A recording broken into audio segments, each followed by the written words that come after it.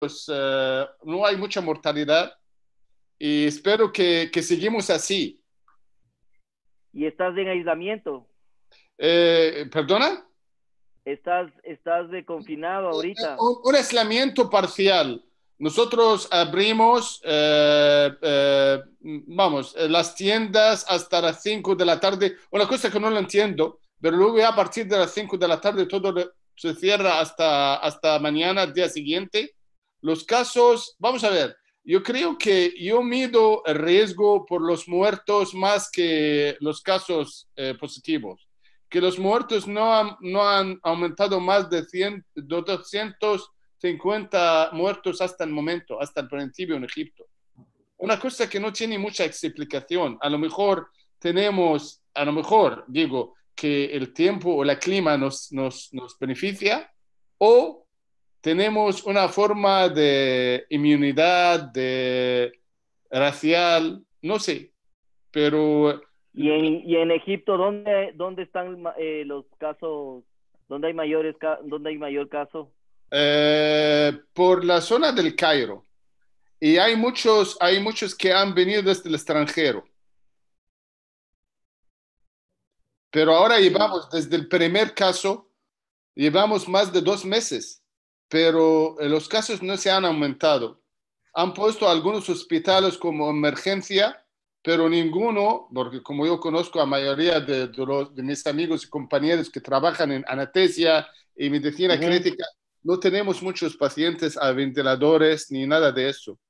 No, no sé, ¿qué, ¿qué, qué, tal la situación en, en América del Sur? Andrés, Eh, tienes la voz, la voz eh, ahora, así. ahora sí. Decía que Ecuador está más complicado, me parece, sobre todo la zona de Guayaquil. Sí, nosotros estamos complicados acá. Más en Guayaquil, más en Guayaquil que en, eh, que en, que en Quito. En Quito las cosas se han manejado eh, más tranquilos. Eh, Guayaquil tuvo un problema, un sesgo, un, un sesgo grande y un problema grande eh, epidemiológico que en Guayaquil fue el regreso de las vacaciones de la, de la, de la costa. Nosotros aquí en Ecuador hay dos ciclos. Eh, el ciclo costa en los dos colegios y el ciclo sierra. El ciclo costa eh, es la, las vacaciones como, como el sur del continente, como Argentina, como Chile, como Ujú. Brasil, donde tienen vacaciones de enero, febrero, marzo. Y en la sierra, en la, en la, en la altura donde yo estoy en Quito, eh, tenemos eh, como, como los Estados Unidos, como la parte norte, como Europa. La vacación es mayo, junio, julio del verano, junio, julio, agosto.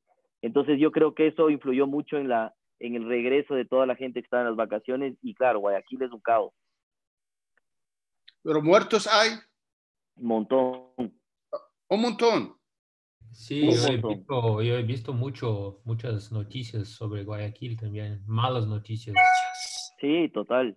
Al Sí. comienzo se, pre- se, se pensó que era un poco de fake news, pero después eh, fue, fue terrible. Ahora lograron ya controlar el tema de, de, de los muertos y de llevar los muertos porque fue tanto el caos en, en cuanto a la mortalidad que, que la gente, eh, que, que no hubo abastecimiento para los muertos. Entonces la Sí, gente sí. dejaba muertos afuera. Yo he visto eh, esto muy malo, las imágenes. sí. Pablo, nos queda, perdón, eh, tres minutitos. Doctor Mohamed, le decimos, acá somos medio, medios ingleses, somos. Cinco en punto. Empezamos, por eso nos tomamos estos minutos antes, así que quiero rápidamente mostrarles un poquito a, nuestros panelistas y, y a toda la gente, ya somos más de 100, eh, qué es lo que se viene para la semana que viene. Bueno, a todos siempre los invitamos que compartan en sus redes con el hashtag en casa OU, ¿sí? para que nos acompañen. Y lo que decíamos al principio un poco, eh, le contábamos a Emilio, somos un ecosistema donde queremos formar un espacio donde aprendemos cosas prácticas de forma interactiva, tanto uno como de otros. El objetivo de estos webinars son la transferencia de conocimientos y destrezas y aportar herramientas prácticas para nuestro día a día. Y bueno, en la metodología tenemos moderadores, invitados y asistentes que tienen un protagonismo fundamental porque queremos que ustedes pregunten, que aprovechen estos maestros de, del crosslinking. ¿sí? Quiero antes, a ver, déjenme mostrarles que se me fueron para atrás lo que exactamente. Bueno, esto es lo que se viene mañana. ¿sí? Mañana tenemos en el primer turno eh, el top 10 tips en ecografía y UVM. Vuelve eh, Oftalmo Imágenes, el Congreso, junto con Oftalmo University. Vamos a hablar de ecografía y UVM con el doctor Munir, Munir a la cabeza, Mario La Torre, Rebeca de Verox e Ingrid Bolaño. Van a hacer un webinar súper interesante. Y a la tarde tenemos cómo mejorar tu práctica utilizando LIOS Premium. Va a estar un miércoles también súper interesante. Todas estas charlas se suben a YouTube, así que los invitamos a suscribirse. El jueves volvemos con mi querido Pablo y el maestro Roberto Leartasi y Margarita Canavás para hablar de refracción y tratamiento del 90% de las sectáceas. Vamos a hacer un taller. Ahí está Jorge, bienvenido. Estoy justo Hola Andrés, ¿qué tal? Ah, gracias por, por sumarte, amigo. Y bueno, y a la tarde del jueves, inteligencia artificial. ¿Qué es, cómo funciona y cómo funciona hoy para los oftalmólogos y qué es lo que tenemos hoy? No vamos a hablar de algo que puede pasar dentro de 30 años. El doctor Carnielli está preparando una super charla. Y el viernes, a mí me gusta llamarlo el super viernes, porque tenemos a Dan Reinstein, Roberto y Roger Saldívar y Luis Fernández Vega hablando de ICL. Creo que no hay personas que sepan más ICL que estos cuatro muchachos, así que va a estar increíble. Y a la tarde, el profesor Hirst de Australia y con todo el equipo de Pancornia vamos a hablar de Perigium y Perfect, su técnica, y vamos a hablar un poco de casos clínicos, así que eso va a estar súper interesante también. Y como bonus track, a ver, perdón, ahí está, vamos a hacer a las 8 horas de España, 3 de la tarde de Argentina, la primera cirugía en vivo virtual. El doctor Ivo Ferreira va a estar con el simulador de ISIS mostrando y dando herramientas virtuales, pero que también van a servir y mucho para nuestra práctica, para nuestra cirugía, sobre todo como estamos arrancando sobre cirugía de cataratas. Así que va a ser algo súper novedoso, no se lo pierda.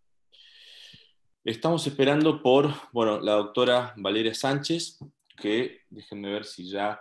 Eh, eh, mientras mientras estamos todos acá, quiero, quiero la verdad... Eh, felicitar a nuestro amigo Mohamed Shafiq y les invito a que en YouTube vean el, el, el video que, que, que, él tiene. No sé si ya lo subiste, el de Getting Maximum eh, Benefits of Crosslinking. ¿Ya lo subiste? Sí. Realmente es un video que, que, vale la pena para todos los que nos gusta la córnea, para todos los que nos gusta eh, eh, crosslinking. Eh, es, es, un trabajo muy, muy, muy bonito, es un trabajo muy bien realizado. Mohamed, felicitaciones. Creo que todos sabemos la calidad que tú tienes eh, científica y, y, y, la verdad está muy, muy, muy bueno tú. Y más bien, gracias por compartir con todos. Bueno, ahí tenemos, son las 5, ya estamos empezando, ya está la doctora Valeria Sánchez Huerta, no sé si vale, si nos escuchás, eh, pero para nuestros asistentes, que ya son más de 160, más todos los que hay en YouTube, les queremos hacer una pequeña encuesta de dónde se conectan de Latinoamérica, Estados Unidos, Europa, Asia, Oceanía o África. Vamos a, vamos a dar unos segundos para que eh, nos respondan. Yo no sé si se ve Pablo, Jorge, ¿lo ven? está. Valeria, ¿cómo estás? Bienvenida. Muy bien, los estaba oyendo desde hace rato, pero no sabía cómo configurar mi, mi computadora. Estuvimos hablando. Hola, vale. Hola, hola Pablo, ¿cómo te ha ido? ¿Cómo estuvo ese cumpleaños? Muy bien, interesante. ¿En cuarentena? En cuarentena. ¿Tequileaste en, en cuarentena o no? Eh, no tequileamos, pero sí tuve mi, mis mañanitas vía Zoom con toda mi familia conectada en diferentes partes del mundo, que tengo primos en España, en Estados Unidos. Eh, entonces estuvo, estuvo bien. Feliz año, feliz, feliz cumple. Gracias, Mohamed. Feliz cumpleaños. Bueno, eh, Lisa, no sé si estás ahí. Vamos cerrando ya la, la encuesta, así empezamos directamente. Tenemos saludos de Madrid. Bueno, 88% desde Canadá, desde Latinoamérica, perdón, 10% de Europa, algunos de Asia, Estados Unidos, siempre Latinoamérica apoyando, así que bueno, muy felices. Voy a presentar rápidamente a nuestros speakers para comenzar. Eh, tenemos al doctor Mohamed Shafik Shahen, eh, profesor de oftalmología, por supuesto, por la Universidad de Alejandría de Egipto. Tenemos a Emilio Torres, eh, de la Universidad de Zurich, está en Suiza, que ya estuvimos hablando un poquito con él. Nos acompaña también Jorge Velasco, de Perú, la doctora María Sánchez Huerta de México y estamos bueno, moderando con mi querido amigo Pablo Suárez de Ecuador. Así que voy a parar de compartir para que Jorge comiences vos tu, tu presentación, si te parece. Sí, claro. Se escucha claro, ¿no? Se escucha perfecto, vos sos el primero. Vamos a contar, de, como les decía al principio, de cuatro eh, presentaciones por parte de nuestros especialistas. Yo te voy a duplicar pantalla.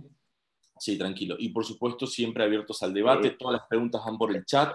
Así que aprovechemos a estos maestros de queratocono y, y a disfrutar. Emilio, Emilio, Mohamed, vale, en cualquier momento que quieran. La idea es que Jorge vaya poniendo las directrices de su, de su presentación y si es que hay algo que comentar o quieran discutir, los micrófonos son suyos.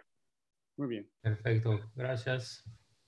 Bueno, eh, esta charla pues se ha hecho para que todo el mundo entienda todas las técnicas que hay en crosslinking y cuándo no usar eh, o cuándo usar cada una y con qué tipo de riboflavina. Así que vamos a ser muy técnicos, eh, no tengo ningún interés comercial. Eh, para saber esto, primero tenemos que entender qué tipos de riboflavinas hay. Entonces, vamos a hablar primero de las riboflavinas que se usan en crosslinking sin epitelio, ¿no? Hablamos de las dos. la primera es la isotónica, la que todo el mundo conoce, que contiene Dextran 500. También hay una que es con hipromelosa, que, se, que tiene la ventaja de penetrar un poco más profundo. La otra eh, es la hipotónica. La hipotónica es una riboflavina que tiene ciertas características. Solamente tiene riboflavina y se usa combinada con la isotónica cuando las córneas son menores a 400 micras. Eh, las marcas comerciales las menciono acá. Son, hay diversas marcas de, distinta etiología y todo, pero estas son las más conocidas. Ahora, cuando hablamos de técnicas que ya usan, eh, que tienen epitelio, o sea, la, la, o la técnica transepitelial, ya la cosa se complica un poco más, ¿no? Eh, el grado de, tiene distintos componentes, aparte de la, de la hipromelosa, la riboflavina también puede tener potenciadores para tratar de penetrar ese epitelio, ¿no? Se le agrega el cloruro de benzalconio en algunas marcas, eh, también hay otras marcas que agregan el trometadol y el EDTA, ¿no? Que ayuda a penetrar eh, sin tener ese problema que menciona el epitelio cuando se hace este tipo de técnicas. Hablando de protocolos, ya estamos eh, pensando en protocolos que tienen epitelio, protocolos que, que, son en personas que tienen las córneas muy delgadas o, personas, o, técnicas que, que, se tienen que hacer con el epitelio intacto, llámese por el tema de confort del paciente. Y hay otras técnicas eh, que se usan en córneas que ya son muy delgadas, que han ido, han, han ido revisando en la bibliografía y se ha visto que tienen algunas poca efectividad. Y también, por último, vamos a hablar de los protocolos combinados, que es la combinación del crosslinking con máquinas refractivas, ¿no?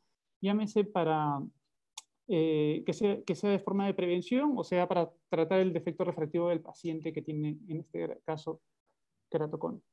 Bueno, los más conocidos, ¿no? El protocolo de Dresden, que ya lleva muchos años, y Emilio Torres, pues, eh, me imagino que conoce muy bien de esto, eh, fue descrita por, por, por y Paul hace mucho tiempo, y no es más que el uso de riboflavina eh, con Dextran a una gota cada 5 minutos por 30 minutos. ¿no? Una vez impregnada la córnea, se le lleva a, la lámpara de hendidura, se, se, ve en luz cobalto si tiene contenido de riboflavina en la cámara anterior y ya después se hace eh, luz ultravioleta a 3 miliwatts por centímetro cuadrado, ¿no? Esto por 30 minutos, es lo más conocido que hay.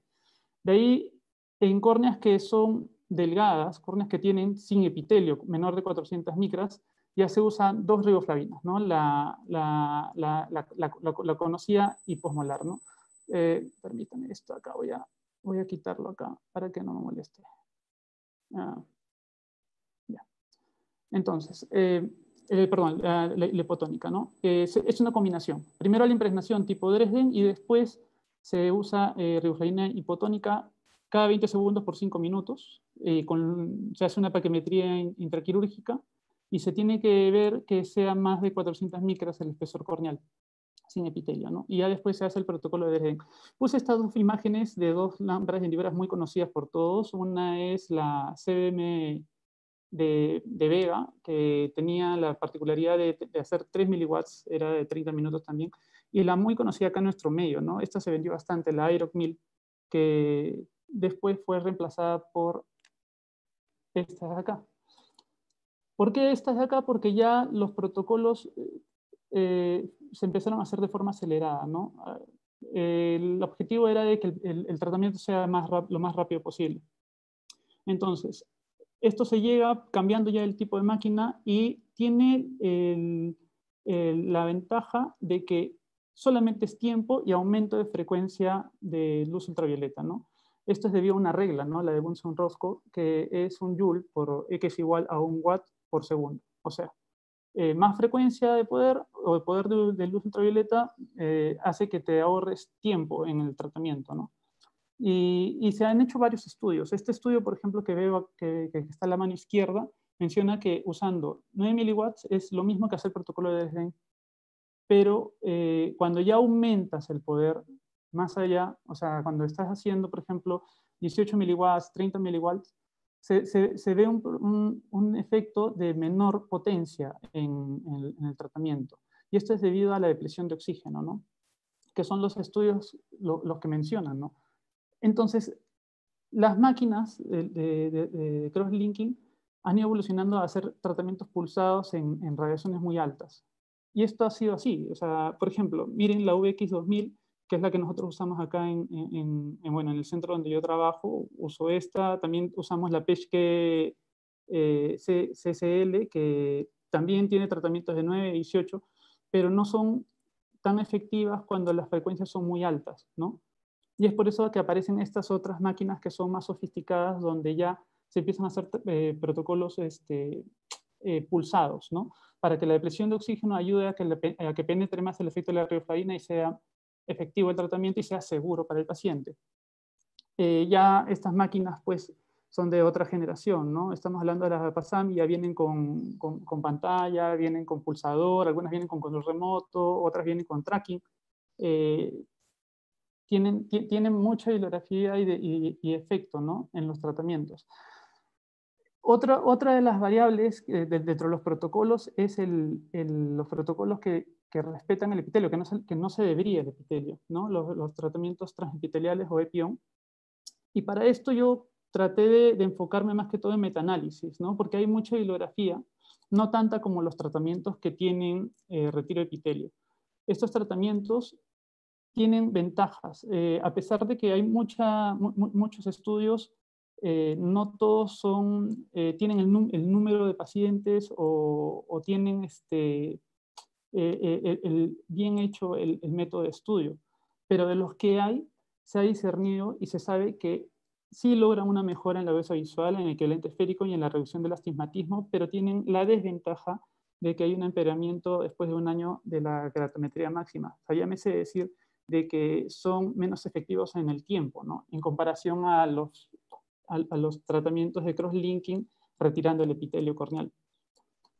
Es por esto que eh, ya por el 2014, pues, Mastro Pascua eh, empezó a, publicar este, este tipo de técnica que es la iontoforesis, ya en humanos, eh, que no es más que una máquina que con, con, un efecto electroquímico hace que la penetrancia de la riboflavina sea más efectiva. Es solamente cinco minutos de impregnación en este caso, ¿no? Y, y muchas veces es hasta combinado con, eh, tratamientos acelerados que hacen que el, el tratamiento de crosslinking sea muy, muy rápido. Se sabe que es efectivo, no hay tantos estudios, no es una tecnología que ha sido ampliamente eh, comercializada, pero los, los protocolos y los, y los estudios que se han hecho en Italia, que es de donde es este, este grupo, pues mencionan que tienen eh, resultados alentadores, ¿no? Nosotros pudimos usarlos en el 2014 allí, en, eh, tenemos una, una, de las moderadoras, una de las panelistas que tiene mucha experiencia en esto y ya les va a contar los beneficios. Otro tipo de tratamientos que también ayudan a que el paciente eh, sea más confortable para el paciente son los que tienen eh, debridación parcial en, el epitelio. ¿no? Eh, puse estas tres porque son los más comunes. ¿no? La, imparcial, que con, el disruptor de Dayas eh, se hace una micro, unas microperaciones en el epitelio para que la riboflavina pueda penetrar. O eh, este de acá, que lo describió George Quimionis, que es una debridación imparcial que solamente se, se respeta en la zona más delgada, ¿no? De donde, donde está la ectasia. Estos, eh, estos eh, eh, tipos de tratamiento son, son efectivos, sí, pero son, penetran muy poco la, la, riboflavina en, los pacientes. ¿no? Se, se, han hecho estudios con microscopía confocal y por OCT donde se ha visto que la penetrancia es de 150 micras, 180 micras en comparación al protocolo de Dresden que es de 300 micras de, de, penetrancia. ¿no? Entonces, eso ha hecho de que no, no, no, se, no, no, se, no, se han hecho así mundialmente. Hay un, trabajo que fue hecho por Vigilio Galvis en Colombia, que es de los que más eh, seguimiento se hizo, ¿no? Cinco años. Y, es interesante porque hace este tipo de técnica que es la derivación imparcial y se ve que sí hay un resultado en la queratometría y en los equivalentes esféricos. O sea, sí menciona que hay una efectividad en un número grande de pacientes, son 80 pacientes. El, el tema es que eh, ellos no ven la línea de marcación, que es lo que estaba mencionando. O sea, la línea de marcación después de las dos semanas no se llegó a ver claramente y, y ahí es cuando eh, entra la, la, premisa de pensar de que la línea de marcación eh, no tiene correlación con el efecto del tratamiento. Y eso ya está mencionaba en algunos artículos, ¿no? Lo, hay dos, uno este que se, que se corrió en Alemania eh, por Pirche, que, que, es muy conocido, que menciona esto, ¿no? Hay otros tipos de, de tratamientos también para, para, córneas con menor de 400 micras. Eh, este es uno muy, muy conocido que lo hizo Susan Jacob en India en el 2014 también. Bueno, en el 2014 ya se publicó. Eh, es el, tratamiento con el uso de un lente de contacto, ¿no? Y está en YouTube, eh, fue, eh, lo publicó antes, de, mejor dicho, subió el video antes de, que se haga la publicación y fue muy, muy, muy interesante porque lo que hace es dividirle la córnea del paciente con ectasia, medir y si tiene menos de 400 micras se pone un lente de contacto eh, impregnado por 30 minutos con, con riboflavina y después hace el tratamiento. ¿no? En este caso ella usó una máquina de Pasami, eh, bueno, pero con protocolo de Dresden, a pesar de que la máquina era de, tipo acelerado. El detalle está que eh, es verdad, la córnea que es delgada, de menos de 400 micras, que encima tiene un lente de contacto impregnado, da el beneficio de proteger, proteger las estructuras, sin quitar el efecto del, del cross-linking. Ella menciona de que el efecto de, la penetrancia hacia la córnea fue de 250 micras. Eh, hay estudios que comparan tipos de lentes. Eh, se sabe que este, este estudio eh, que lo hizo Wallens y Sporer, que son personas que son eruditas en este tema del cross-linking, hablan de que los lentes que son muy hidrofílicos tienen menos penetrancia de luz ultravioleta, o sea, tienen menos efecto, ¿no? Ese es un, un, estudio que se hizo en, en, ojos de cerdo. Eh, menciona que de todas maneras hay un sesgo, pues al no, ser, al no haberse hecho en humanos, ya que la curvatura de la córnea en ojos de cerdo, pues eh, quita, quita la efectividad también, ¿no? Pero es algo a tomar en consideración, ya que no puedes hacerlo con todo tipo de lente de contacto, ¿no? También han habido trabajos ya con, con seguimiento a dos años. Eh, este de acá, que fue realizado en India, que menciona pues que la línea de marcación sí, eh, sí, hubo, sí hubo efecto, es muy parecido al, al, trabajo que mencioné de, Colombia, que sí hubo efecto en equivalente esférico y en curvatura corneal y también en astigmatismo, pero no se vio eh, la línea de marcación eh, en, menor a 300, mayor a 300 micras, ¿no? o a 300 micras, o no es, de todas maneras tiene una diferencia a lo, a lo que es publicado por Susan Jacob, que no son los 250 micras que ella menciona. Por último, eh, voy a hablar un poco de los tratamientos combinados. Esto lo va a hablar el profesor eh, Mohamed Shafiq, pero eh, quisiera mencionar primero el, más conocido de los estudios, ¿no? que fue realizado por, por John Anastasio John Canalopoulos, que él menciona el tratamiento combinado con, con PRK, ¿no? Eh, hace primero una debridación de, del epitelio eh, por, por PTK y después eh, hace un tratamiento de PRK con uso de mitomicina en 5.5 milímetros, ¿no? en este caso, en, la, en, primeras publicaciones, o en las primeras publicaciones, usaba el protocolo de Dresden, ¿no? Rioflavina, la, la, la, que contenía este, Dextran, usaba por 10 minutos eh, una impregnación cada 30 segundos para que sea más corto el, el, el, tratamiento refractivo, por así decirlo. Y después se usaba eh, la luz ultravioleta por sí por 30 minutos. ¿no? Esto fue modificándose en el tiempo, lo hizo de forma más acelerada más adelante. Pero eh, yo lo que quería mencionar con esto es que no solamente es eh, hacerlo de esta forma, han habido varias variantes, unas más agresivas que otras, ¿no? Por ejemplo, el uso de PRK con eh, acelerado, ¿no? Eh, se hace igual el debridamiento por, por, por, por, una máquina refractiva y se usa 10 minutos de riboflavina seguido de, de, de 3 minutos a 30 miliwatts por centímetro cuadrado, ¿no? Y esto sin descanso de presión de oxígeno, que yo, como lo había mencionado antes, en tratamientos acelerados, pues sí es necesario usar tratamientos pulsados, eso ya está reportado.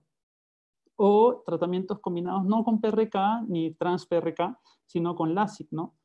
que son más rápidos todavía. O sea, se hace impregnación por un minuto y medio de riboflavina eh, de este Sintextran y después seguido se hace tres minutos a 30 miliwatts eh, por centímetro cuadrado. Son tratamientos experimentales, en realidad eh, no son grandes series.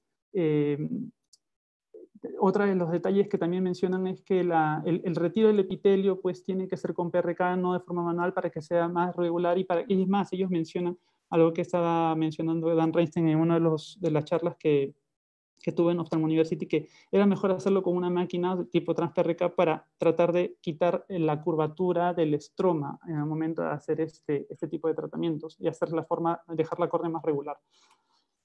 Hay otros tipos de tratamientos combinados, este también es mencionado por, de los últimos que ha hecho John Canalopoulos, eh, ya usa eh, máquinas más sofisticadas, ¿no? como el Avedro este es el, el, tratamiento donde usa 20 eh, miliwatts. Es una frecuencia muy, muy alta y pone patrones. En realidad, el objetivo era aplanar más la zona que está curvada en la córnea, la zona de ectasia. Entonces irradia más luz ultravioleta en esa zona. Son tratamientos, como les mencioné, eh, son de, de, corto número de pacientes. Estamos hablando en este caso, creo que son 15, no, 21 pacientes. Y, y bordea el tema de la seguridad, ¿no? A pesar de que los resultados son bastante alentadores, ya que el aplanamiento en la zona más ectásica está presente en los estudios. Pero eh, la ventaja en este de acá es que eh, respeta menos, hace menos tratamiento con, la máquina refractiva. El, efecto de aplanamiento en, realidad lo llega a hacer solamente la máquina del cross-linking. Eh, usa menos, menos tratamiento ¿no? en, en la extracción del, el estroma.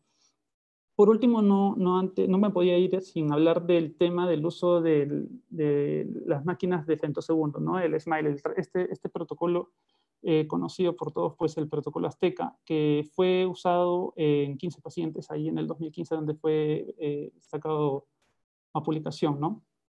no es más que un, un, tratamiento de, de, de SMILE donde se usó criterios pues, de hasta 10 dioptrías de, miopía y 5 de astigmatismo, teniendo resultados bastante alentadores. ¿no?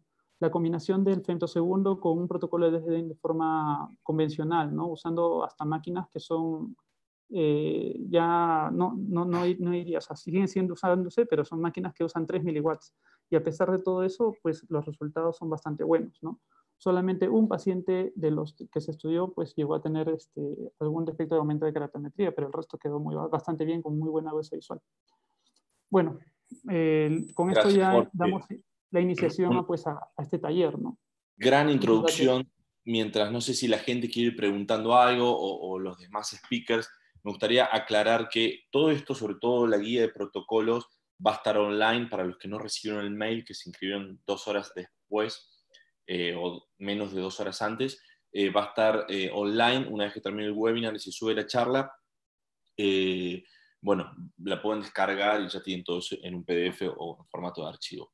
Creo que diste una introducción buenísima. Ahora Valeria y después Emilio van a seguir detallando. Pablo, no sé si quieres preguntar algo, así después pasamos a... sí, algo de...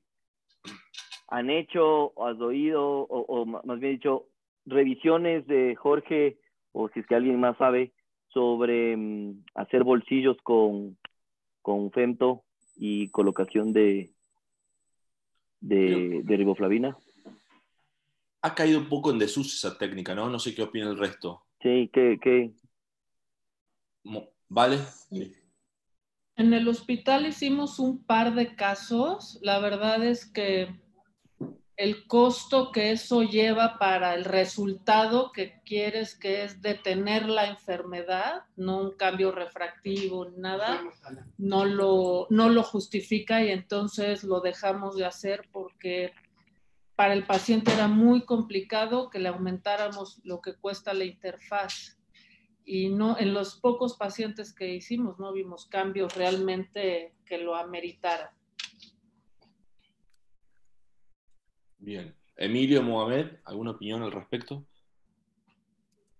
La verdad que quiero comentar un poco, eh, Jorge, te felicito por la presentación, pero eh, eh, no, no dijiste algo sobre la, el crosslinking en las córneas con espesor menos de 400 micras que ahora, como, eh, como, como nosotros sabemos todos, que Farad Hafezi con su equipo y monitores también están desarrollando su protocolo. Eh, de hecho, yo lo estoy haciendo hace bastante tiempo que bajar un poco la energía eh, en, en, forma de minutos. Todavía estamos esperando que saquen lo que es el protocolo adecuado, a cuántas micras puedes dar, cuántas eh, milijulios eh, de eh, radiancia.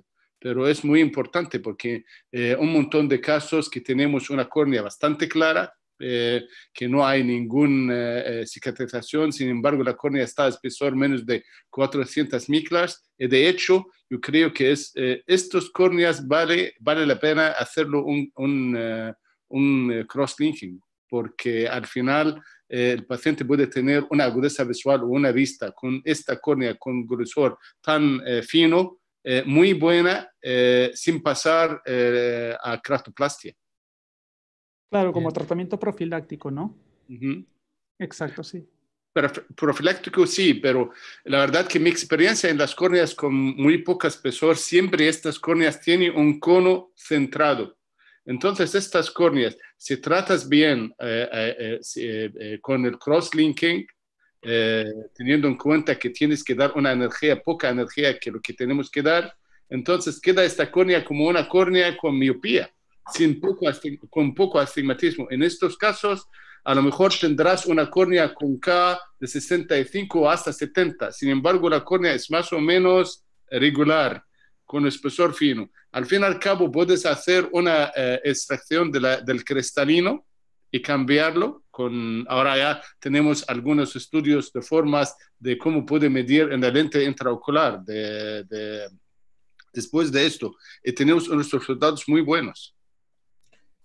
Bueno, además hay estudios donde no demuestran un cambio importante en la densidad endotelial, que sería lo que nos importa cuando utilizas bien el lente de contacto. Y como dice el doctor Mohamed, le estás evitando una queratoplastia temprana a ese paciente que puede que con lente de contacto o escleral todavía tenga una capacidad visual muy aceptable.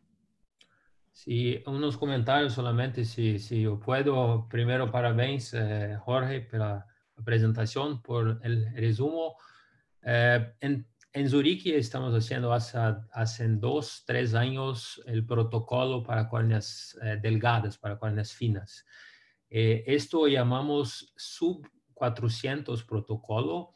Entonces, ¿qué estamos haciendo? Eh, porque tenemos muchos protocolos y que nos gustaría simplificar cada vez más la metodología. Entonces, han visto que tenemos muchas tecnologías, muchas riboflavinas, muchos métodos y todo lo que estamos haciendo ahora es colocar todo junto eh, en este protocolo, es un otro asunto, pero se llama sub 400. Y hasta ahora pudimos, eh, hicimos tratamiento en córneas tan delgadas como 215 micra y tenemos hasta dos años de postoperatorio. Entonces, eh, es un new, ¿cómo se llama? New approach eh, en que cambiamos la energía y, si podemos, si podemos, podemos hablar después de esto también, pero eh, esto tal vez sea el futuro, entonces hacer todo más simple para que no tengamos que discutir tantas cosas, la riboflavina, la energía y todos estos protocolos, entonces estamos trabajando bastante en esto también. algo que menciones, Emilio, en verdad qué bueno que, que hayas dicho esto. Eh, en, ustedes están trabajando con la, la, lámpara, no quiero quitarte protagonismo con la charla que vas a dar, pero estás trabajando en la máquina de crosslinking que se va a usar en lámpara de hendidura y la Imaging, ¿no? Creo que es algo... Sí, eh, el nombre. voy, a mostrar en la, en la charla. Sí, el, lo que me llamó la atención es el tipo, o sea, la, la rioflavina ustedes solamente usan de un solo tipo, eh, la riocarbe al 1%. Eso va, eso va a ser un beneficio total, porque en realidad eh, estar buscando eh, qué tipo de rioflavina para cada tratamiento, y en realidad hay mucha, mucha información, no sabes cuál es la verdadera, por así decirlo. A la larga te toca hacer o sea, revisar, por supuesto, pero también intentar con el paciente qué es lo mejor. Y no se trata de eso, ¿no? Ya que la industria te ofrece muchas cosas y no están a la par. Lo que ustedes están haciendo sería simplificar, dejar, olvidarte del tema de usar reoflavinas combinadas, ¿no? Y eso ayudaría bastante. Exactamente, estamos tratando hacer lo más simple posible. Eh, y ahora tenemos 10 años de protocolo, más de 10 años, pero 10 años completos estoy viendo los pacientes de Zurich de 10 años, entonces los primeros pacientes que hicieron crosslinking entre 2004 y 2009 eh, y eh, tenemos suceso, claro, por, pero esto es la serie, la, tiene una de Dresden, pero la segunda serie más longa, entonces tenemos solamente 10 años de estudios en crosslinking con protocolo de Dresden conseguimos imaginar cómo serían los otros estudios. Entonces, hay muchas variables, eh, claro, cuanto más simples, mejor para entendernos y para que, la, que el tratamiento sea siempre lo más previsible. Exacto. Vale, bueno, continuamos, si le parece, con, tu charla y, vamos siguiendo la discusión. Se vienen temas muy interesantes, hay preguntas que ya las estoy, eh, bueno, anotando para, para el debate. Vale, nos hablar de epión y ontoforesis. Había unas preguntas sobre esto, así que creo que seguramente la doctora Sánchez Huerta nos va a aclarar muchas dudas. Insistimos, eh, para Emilio, Jorge, Mohamed, cuando quieran, interrumpan que esto es un debate entre todos. Así que, vale, cuando quieras. Vale, estás muteada. Tienes que... A ver, ya te... ¿Ahí me escuchan? Ahora sí. Perfecto. ¿Aquí? Perfecto. Excelente. Bien, entonces yo voy a hablar de epión y de yontoforesis.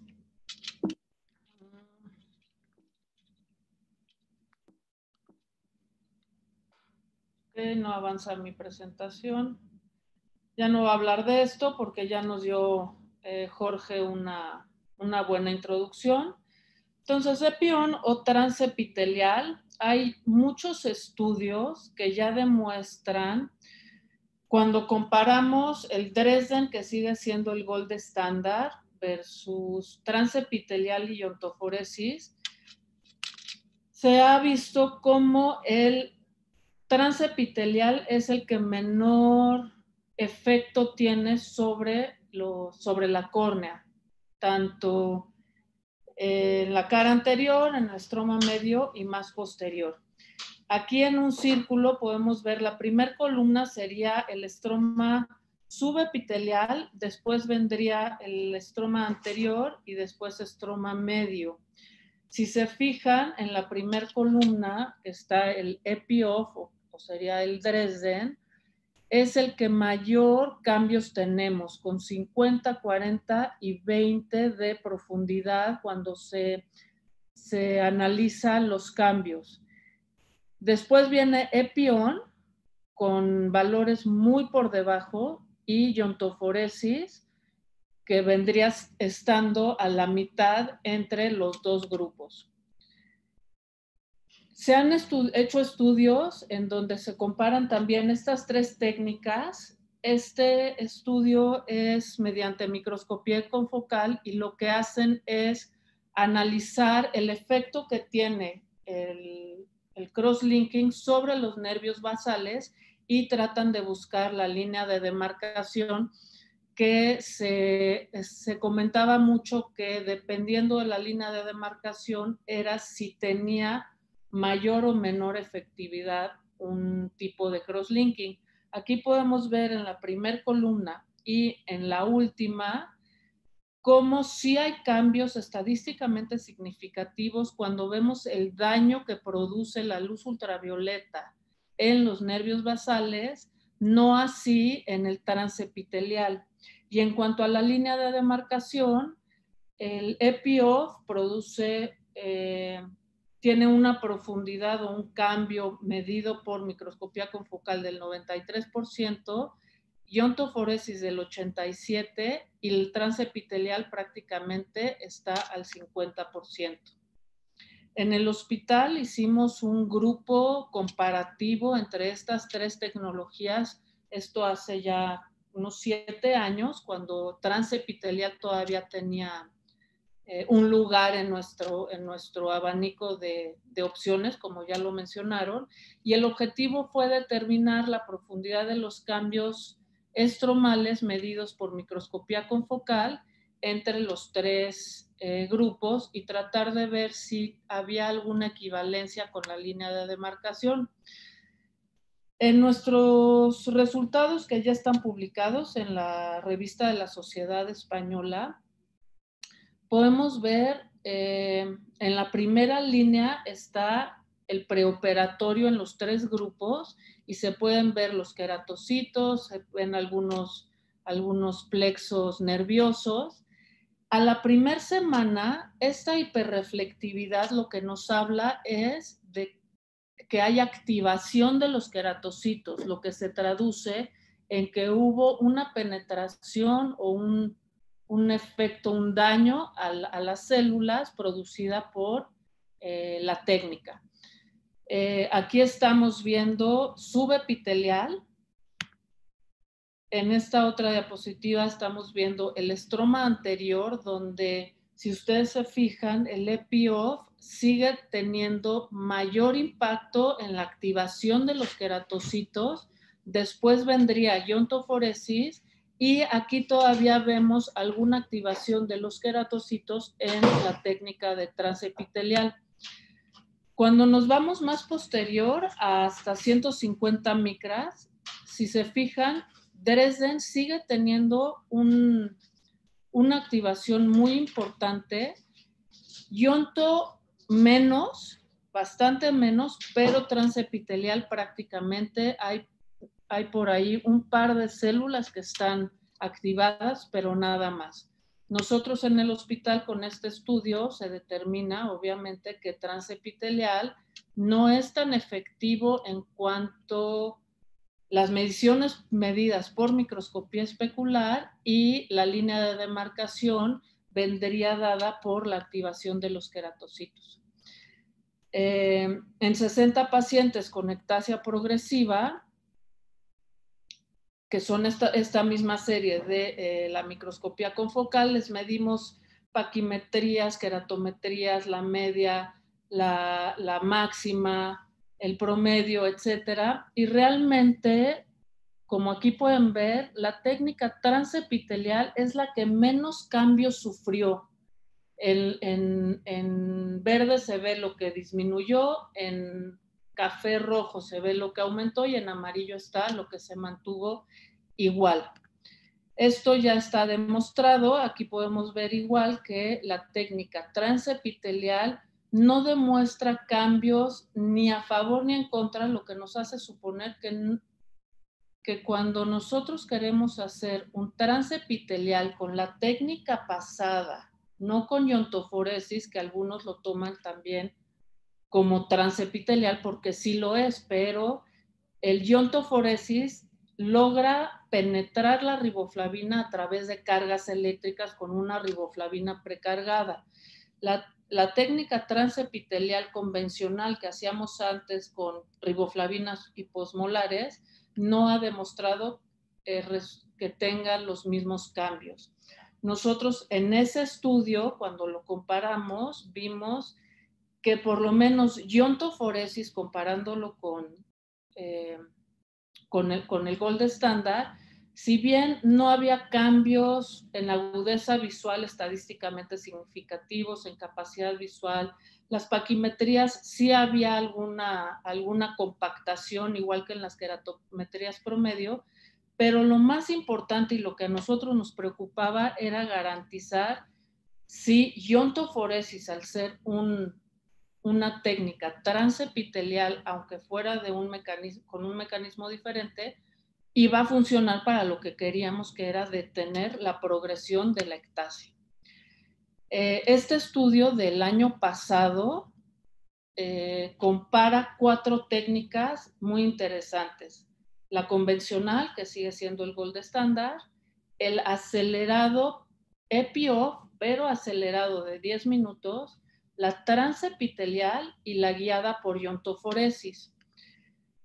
Y aquí eh, si ustedes quieren el artículo, se los puedo compartir y si no lo pueden, lo pueden buscar. Es muy interesante ver cómo van comparando entre grupos con el gold estándar que sigue siendo el EPO. En donde dice p-value, lo que pueden ver es el grupo 1, que es el Dresden, comparado con el grupo 2, que sería el acelerado EPO, el grupo 3 sería el transepitelial y el grupo 4 sería el iontoforesis. Si se fijan en la, en la segunda columna del p-value, donde comparan Dresden con eh, transepitelial, eh, no, perdón, con transepitelial, el, 1 con el 2 no hay datos, no hay cambios estadísticamente significativos. En, eh, comparado con el transepitelial, los cambios son completamente significativos, o sea, lo que significa es que transepitelial está muy separado de los resultados del convencional y con el 4, que sería el iontoforesis, los únicos datos estadísticamente significativos que vemos es en la línea de demarcación, no así en los otros datos de profundidad y de efectividad. Y en la siguiente se compara el acelerado contra el acelerado EPIOF contra el transepitelial y el de eh, iontoforesis, en donde también demuestran que el transepitelial no tiene eh, una efectividad tan importante como el acelerado y el iontoforesis si hay estadísticamente significativos, excepto en la línea de demarcación. Aquí se ve cuando se compara entre grupos de esta línea de demarcación como eh, la técnica transepitelial es la que menos profundo llega, aquí lo ponen hasta 100 30, un poquito menos 129 micras de profundidad. Con esto nosotros eh, lo que decidimos fue, ok, transepitelial no nos funciona, empezamos a ver a través del tiempo que pacientes que les habíamos hecho técnica EPION después de un par de años regresaban porque había progresado, hicimos un comparativo solamente Dresden versus iontoforesis. Actualmente tenemos un poco más de tres años, ya vamos por la captura de los datos a, cuatro años con este, con este grupo comparativo. Eh, aquí tenemos los datos demográficos. Las variables les tomamos capacidad visual mejor corregida, la esfera, el cilindro, queratometrías, la paquimetría más delgada, eh, los datos de arriba es el grupo de EPIOF y los de abajo es de iontoforesis. Aquí cuando vemos o cuando empezamos a comparar entre grupos hasta los 36 meses, me estoy estorbando la visión.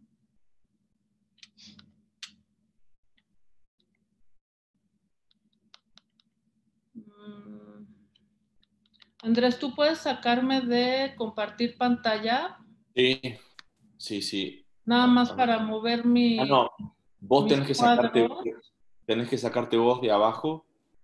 Eh, bueno, sí, no, no, no, importa. Entonces, en la parte de arriba, vale. En la parte de arriba donde está la, la, sí, no una cosa azul, te dice stop share. No estoy viendo mi cursor.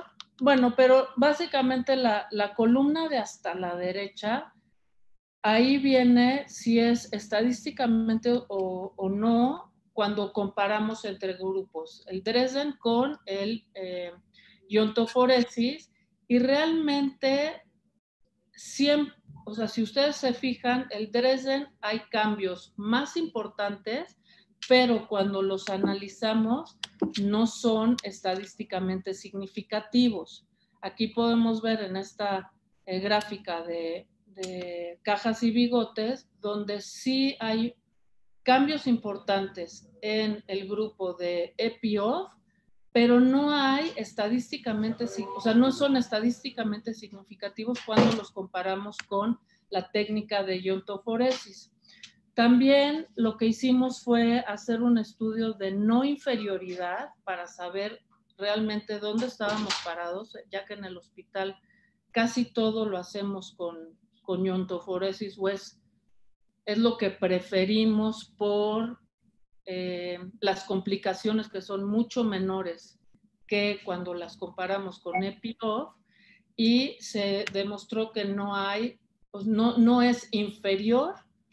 Entonces, nosotros eh, podríamos concluir que iontoforesis definitivamente transepitelial ya no se ocupa, se vio que no es tan efectivo, los cambios no son tan importantes y sí hemos tenido pacientes que tienen progresión más temprano que con iontoforesis o los EPIOF. No sabemos si después, a, través de los años, estos pacientes que llevamos eh, con 10 años de que fueron operados van a regresar con cambios de progresión.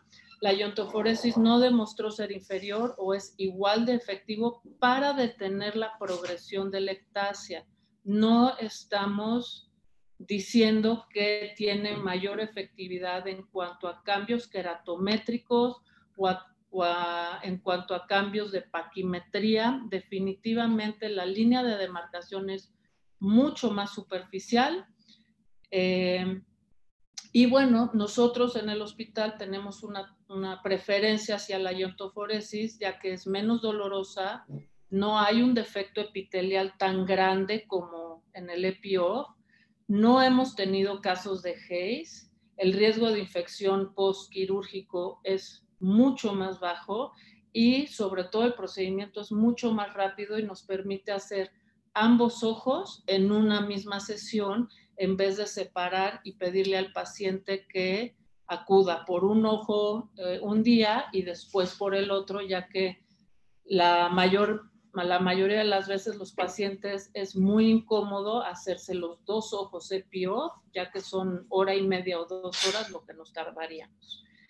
Eh, quiero agradecer cualquier cosa, estoy a su disposición.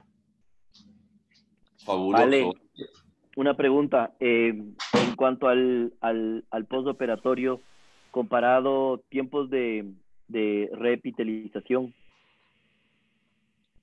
eh, nosotros dejamos lente de contacto por tres días y a las 72 horas lo retiramos y el 96% de los pacientes están 100% epitelizados. Les queda un ligero, una ligera queratitis punteada pero la mayoría de los pacientes toleran ya irse sin su lente de contacto con lubricante y con su tratamiento de antibiótico y esteroide. ¿Usas fluorometolona o esteroide igual? Eh, Usamos fluorometolona cuatro veces al día, los primeros cinco días y después a reducción y con un antibiótico tres veces al día eh, por una semana o hasta que garanticemos que incluso ese defecto epitelial, aunque sea puntiforme, haya cerrado. Vale, tengo ¿Y una en cuanto Y en cuanto a venir, ah, sí, sigue, sigue. Perdón, Pablo, disculpa, no. Muy rápido, así dejo también a, a, Mohamed y Emilio. Eh, ¿Sería hoy el tratamiento de elección en, la ceguera, el, la ionto? Y también preguntarte si crees que va a ser la técnica o es la técnica con más futuro por todo esto que mostraste, sobre todo el último, ¿no? Eh, que no tenemos haze o que el dolor es menor, que la tasa de complicaciones es mucho menor que el, el estándar, ¿verdad? Sí. yo creo que sí puede, podría ser el futuro si empezamos a tomar en cuenta eh, la importancia de la oxigenación durante el procedimiento.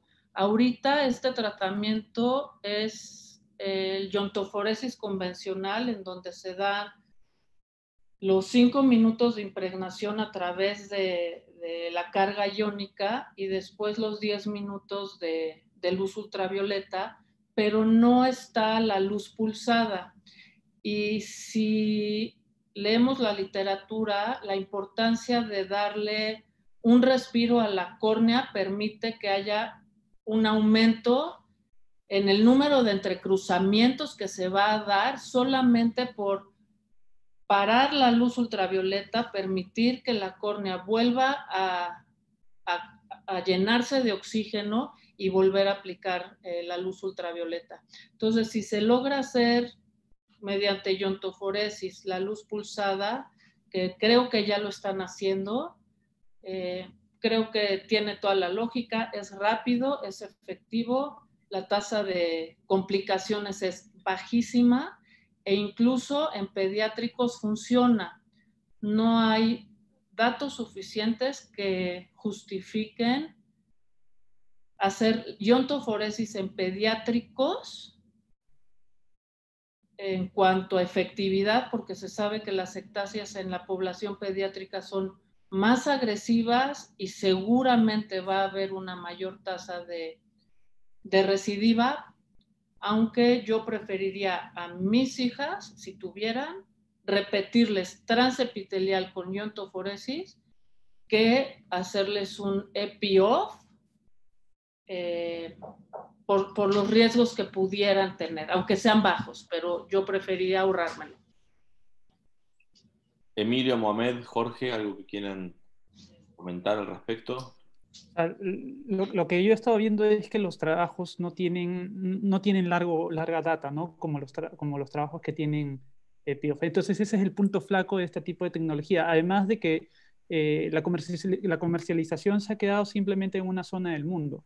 No, no, ha llegado, no, es tan, no es tan estudiada, por ejemplo, en Estados Unidos ni tampoco en Latinoamérica. Entonces, no hay un gran número de estudios que te pueda respaldar. Sin embargo, todos los estudios de iontoforesis mencionan que es mucho más confortable para el paciente, que es lo que tú mencionas. Eh, estoy muy feliz de que, de que digas que es la primera elección en, en, APEC, de verdad, porque es, es, es, algo que no es muy conocido y tiene muchas ventajas. Sí, sí lo es. Sí. Yo voy a hablar de esto en mis presentaciones, entonces dejo para después. Perfecto.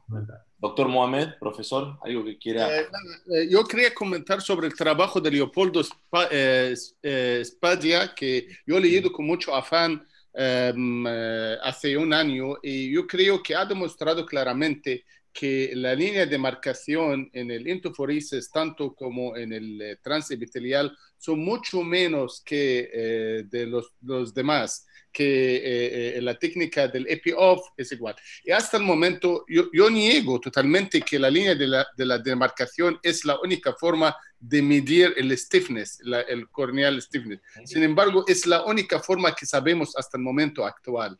Entonces, ¿cómo, cómo le parece? ¿Cómo le parece el tema que no tenemos una línea de demarcación igual o parecida a los demás?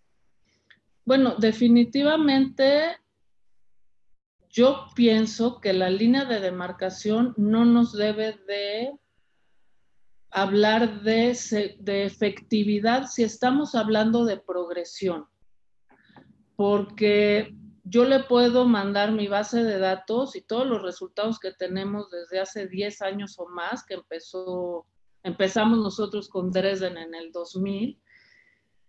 Y sí, es cierto que no hay línea de demarcación o es mucho más superficial, pero entonces, si en el seguimiento no hay una progresión que antes del procedimiento ya estaba documentada, algo debe de estar sucediendo que los pacientes están estables. A lo mejor van a estar estables cinco años en vez de diez, es lo que no sabemos todavía pero de que hay una efectividad en detener la progresión, la hay. no hacía la mejor cambios queratométricos donde sabemos que, que no tienen tanto efecto en las queratometrías, no hay tanta compactación del estroma que también habla de mientras más eh, enlaces covalentes se crean y mayor efectividad, podrías pensar que se compacta el estroma y entonces por eso en muchos pacientes vemos en, semanas posterior al tratamiento que hay un aumento en, la, en el adelgazamiento o la paquimetría baja, pero no es porque haya progresado en seis semanas, sino porque el efecto del cross-linking lo que hizo fue compactar la córnea. Entonces, yo confío plenamente en la técnica porque mis pacientes en el hospital y tenemos una base bastante grande, no, no muestran una progresión que justifique hacer EPIOF. E, esto nos lleva al tema muy polémico. ¿Cómo, cómo mide usted la progresión desde el punto de su vista? ¿Cuáles son los criterios de progresión? Porque... Claro. Y nunca hay, un debate grande. Hay un debate grande. ¿Cómo, ¿Cómo lo medimos? Sí, y ha sido un debate que creo que no vamos a poder... Eh, concluir hoy porque lo tenemos en cada congreso y en cada plática que tenemos, no nada más de cross, sino de, de. Nosotros lo medimos con queratometría, vamos, nos, nos basamos en lo que publican otros expertos como, como Ambrosio, como Bellin, ¿no? Este, la el aumento de más de una dioptría queratométrica, tomamos la alta, tomamos la baja, porcentaje de, paquimetría, pero creo que cuando hablamos de progresión en el hospital, lo que más nos importa es cambios en la adaptabilidad del lente y una reducción en la agudeza visual. Yo creo que sí, yo creo que eso es lo más importante. Sí, una, una, si puedo acrescentar un poco, porque han hablado bastante del estudio de España de Italia. Eh, y yo he hecho una carta al editor, entonces está publicada también, pero ellos variaron la línea de demarcación hasta un año después de crosslinking. Entonces no se puede confiar. Eh, nosotros eh, vemos con mucha precaución los resultados de este estudio que han, que han comentado. Entonces hicimos una carta para JRS eh, sobre esto, está publicado también, pero no, tenemos, eh, no estamos seguros que los resultados presentados puedan ser interpretados, sí, sí, sí, porque con, sabemos que con un mes de, de, después de, cross, de crosslinking podemos ver la línea muy bien pero cómo hacemos un estudio en que analizamos la línea de demarcación un año después. Entonces, esta es nuestra precaución sobre este estudio. Pero voy a hablar más en mi charla de esto. Emilio, ¿quieres que avancemos con tu charla? Vale, deberías eh, stop uh, sharing screen, eh, dejar de compartir, así Emilio ya nos puede... Perdón no, por favor. Mientras tanto, eh, a ver quién puede responder. Ana Silvia Serrano Ahumada nos pregunta, ¿tiene alguna experiencia con el uso de vitamina C en pacientes en el postoperatorio de crosslinking? ¿Ustedes lo usan como de rutina? Imagino que para el EPI-OFF, ¿no? Para favorecer. Tiene lógica, tiene lógica usarlo, ya que la vitamina C actúa a nivel, a nivel de la colágena la verdad es que no es algo que nosotros en el hospital hagamos de rutina. De rutina, aunque, aunque tiene lógica el, el hacerlo. Excelente. Bueno, seguimos entonces con Emilio cuando quieras y ya seguimos respondiendo más preguntas. Bueno, buenas noches a todos. Es un gran placer participar acá. Agradezco a Andrés por la invitación.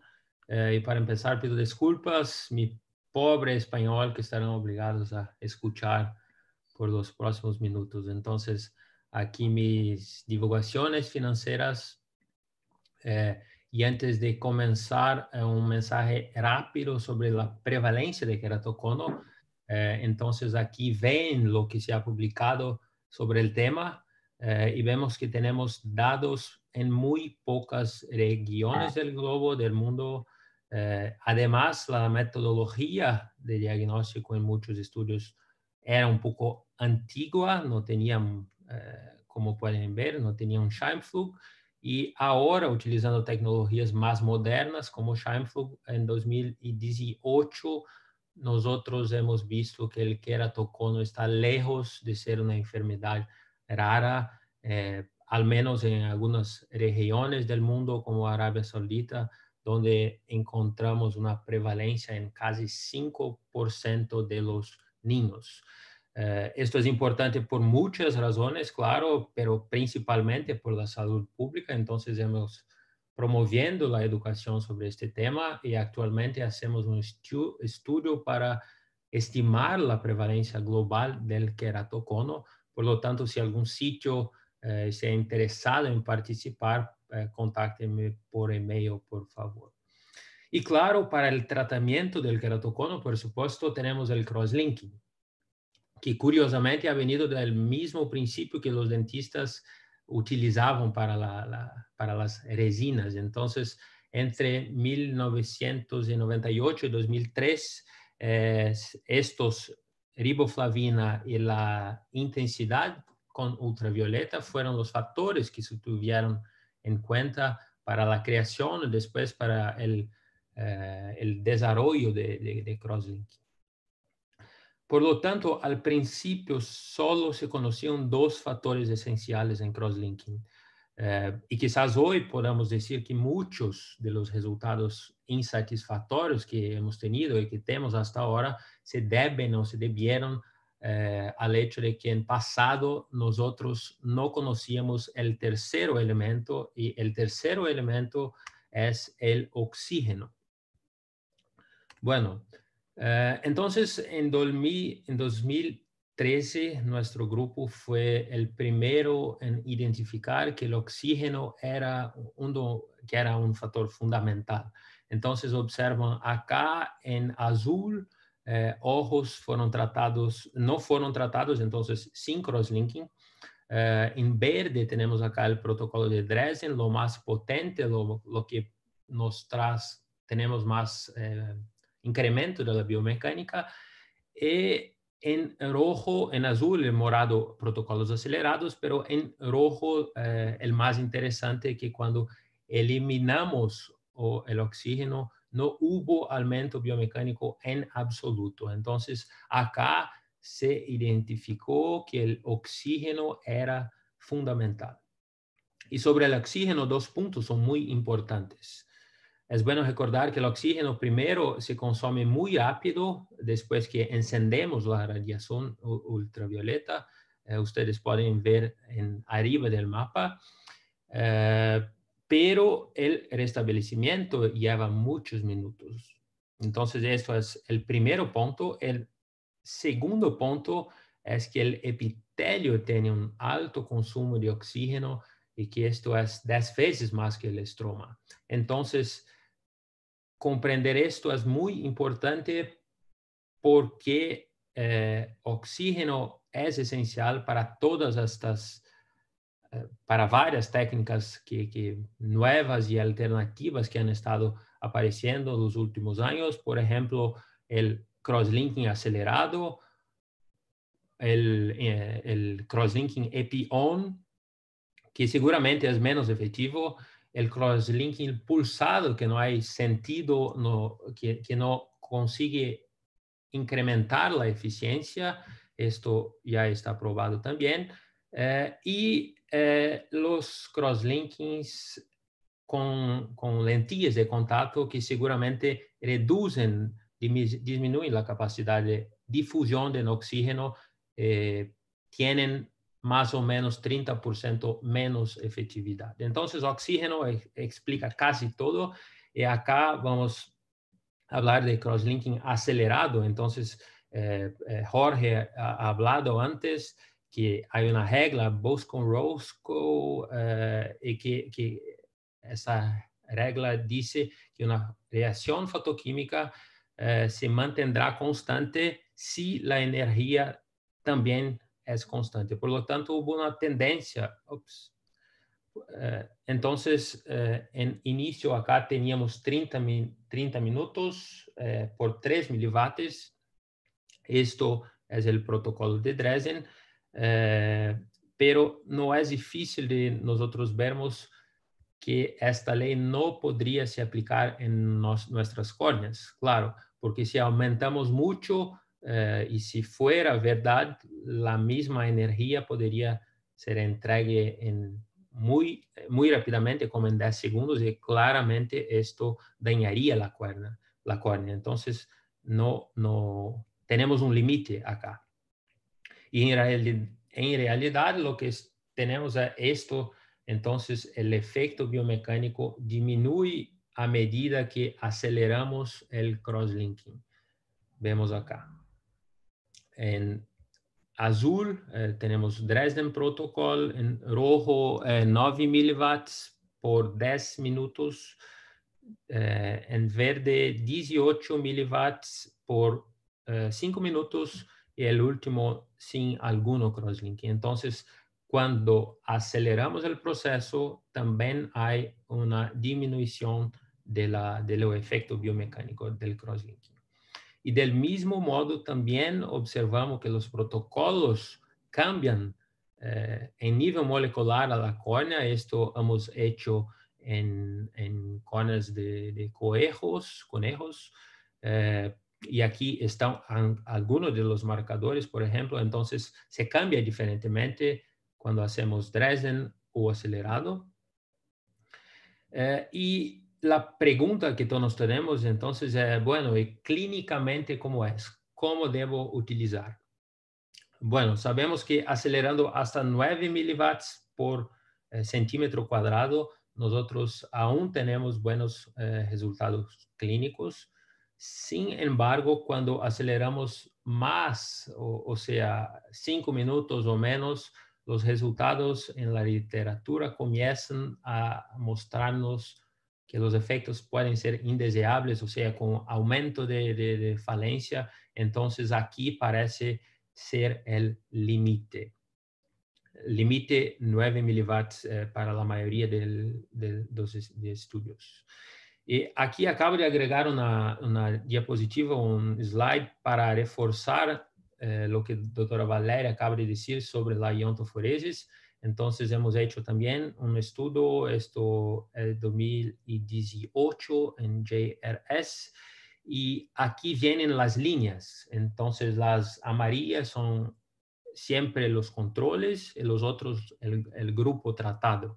Y siempre que hay una diferencia, hay un efecto bio, biomecánico. Entonces, cuando vemos una diferencia entre las líneas, cuanto mayor es esta diferencia, mayor es el efecto biomecánico.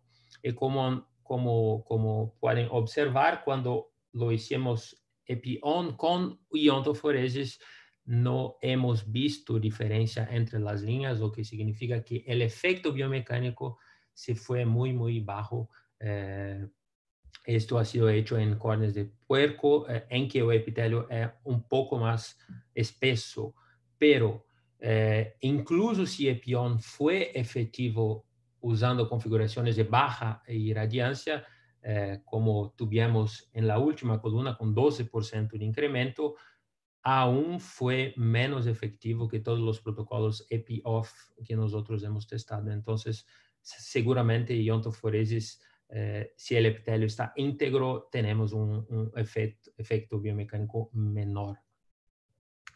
Bueno, Siguiente, entonces, eh, quizás un punto para el futuro. Eh, entonces, sabemos que acelerar disminuye el efecto, entonces tentamos aumentar la energía junto, eh, no solamente acelerar, pero también aumentar la energía. Esto ha sido hecho clínicamente, acá tenemos un año de, de seguimiento y lo observamos curiosamente una reducción similar en la serotometría máxima cuando utilizamos 10 minutos, 10 eh, minutos o mismo 4 minutos. Pero, como esperábamos, eh, una vez más el protocolo estándar de Dresden fue lo que produjo el mayor cambio en los índices de asimetría.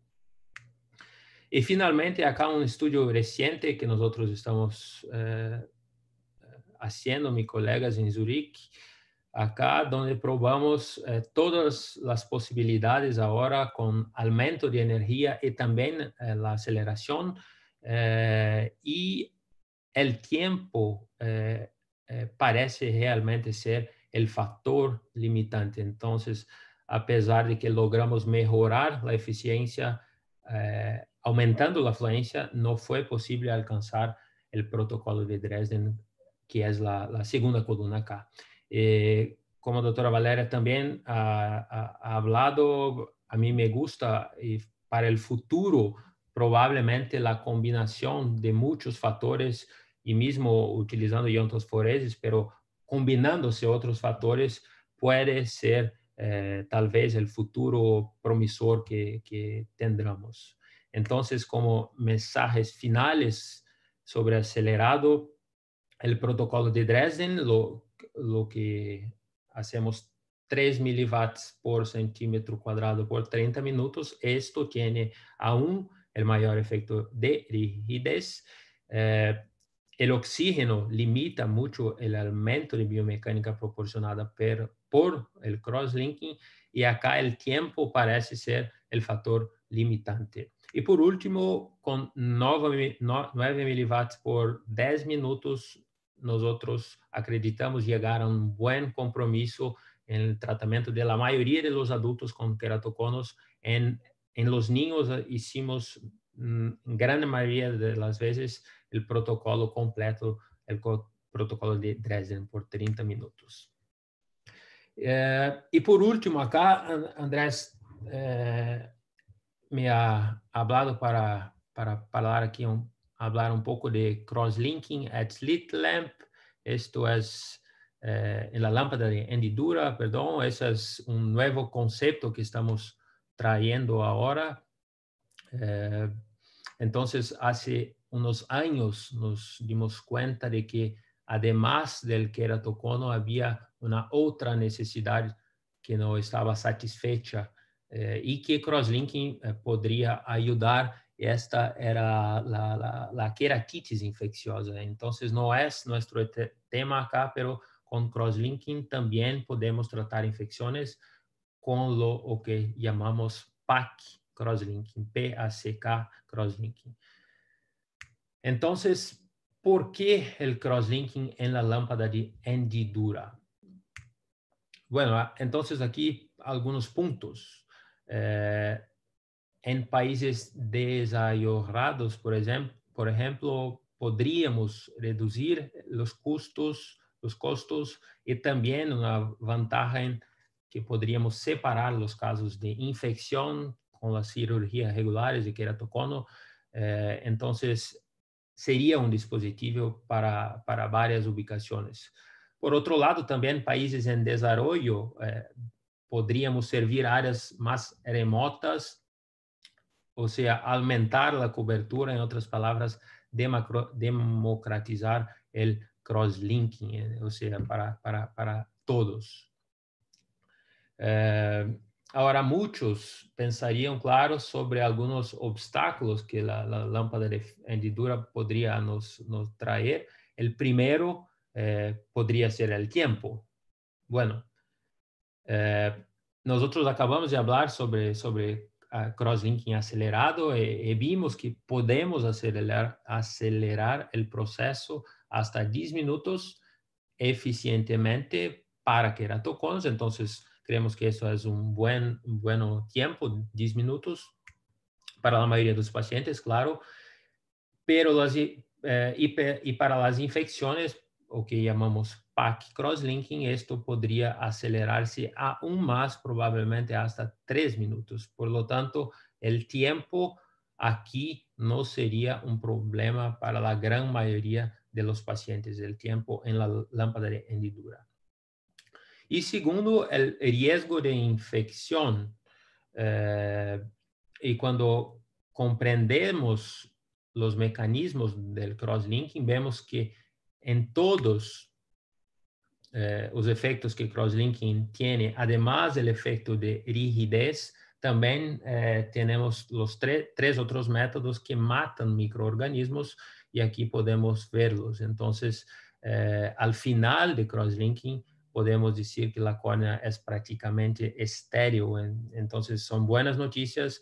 Nos parece que logramos resolver estos obstáculos de forma que eh, podemos simplificar el proceso y ahora eh, llevarlo a la lámpara de hendidura, esto eh, que hemos hecho con profesor Hafezi en Suiza acá.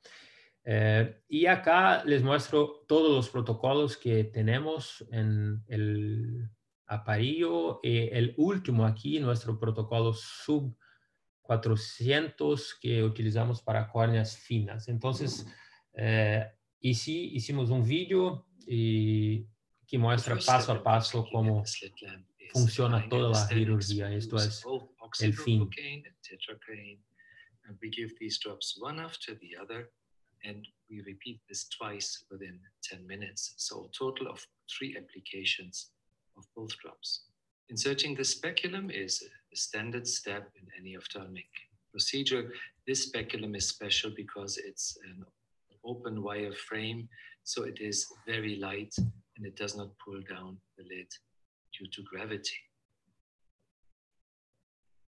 Removing the epithelium is performed using a sterile cotton swab that has been damped in 35% ethanol, and then the cornea is tapped for 60 seconds. So use this movement in a circular fashion, and after 45 or 50 seconds, you will see how the epithelium loosens.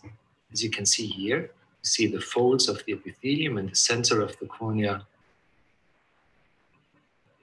and then after the 60 seconds, you perform more movements.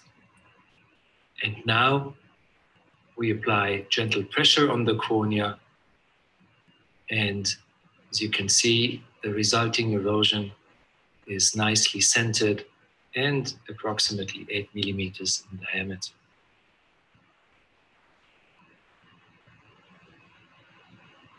The next step is not happening at the slit lamp, but in a reclining chair.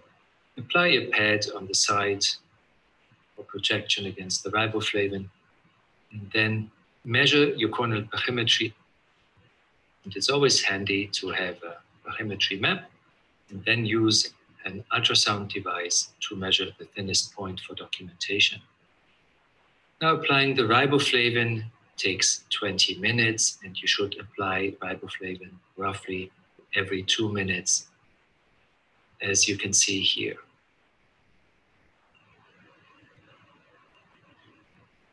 Mounting the CI device is rather simple. Move away the illumination arm and mount the adapter. Secure the adapter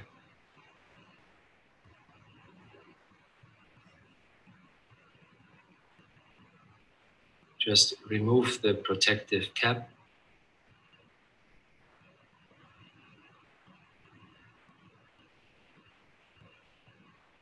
Mount the sterile cap and place the device with the user interface directed towards you onto the slit lamp.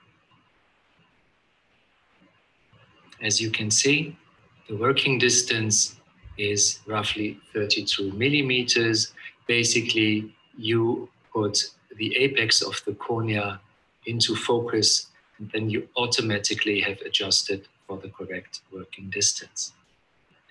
Switching on the device requires you to scan the label and then you can choose between the different protocols provided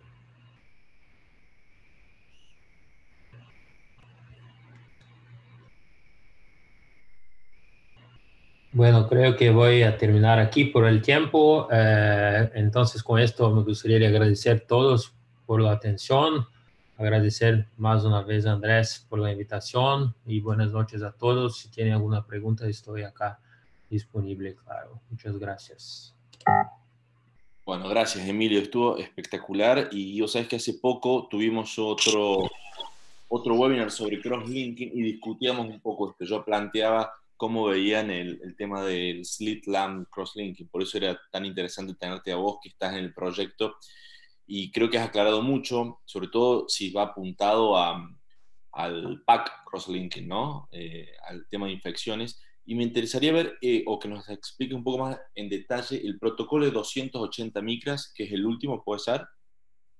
280 micros, ¿qué, qué dices? Está el último protocolo para ultra córneas ah, finas. Ultra para córneas, sí, sí, sí. Esto nosotros es un protocolo para, eh, nosotros tenemos hoy disponibles la aumento de la espesura de la córnea que ha sido hecho hasta ahora con la riboflavina hiposmolar.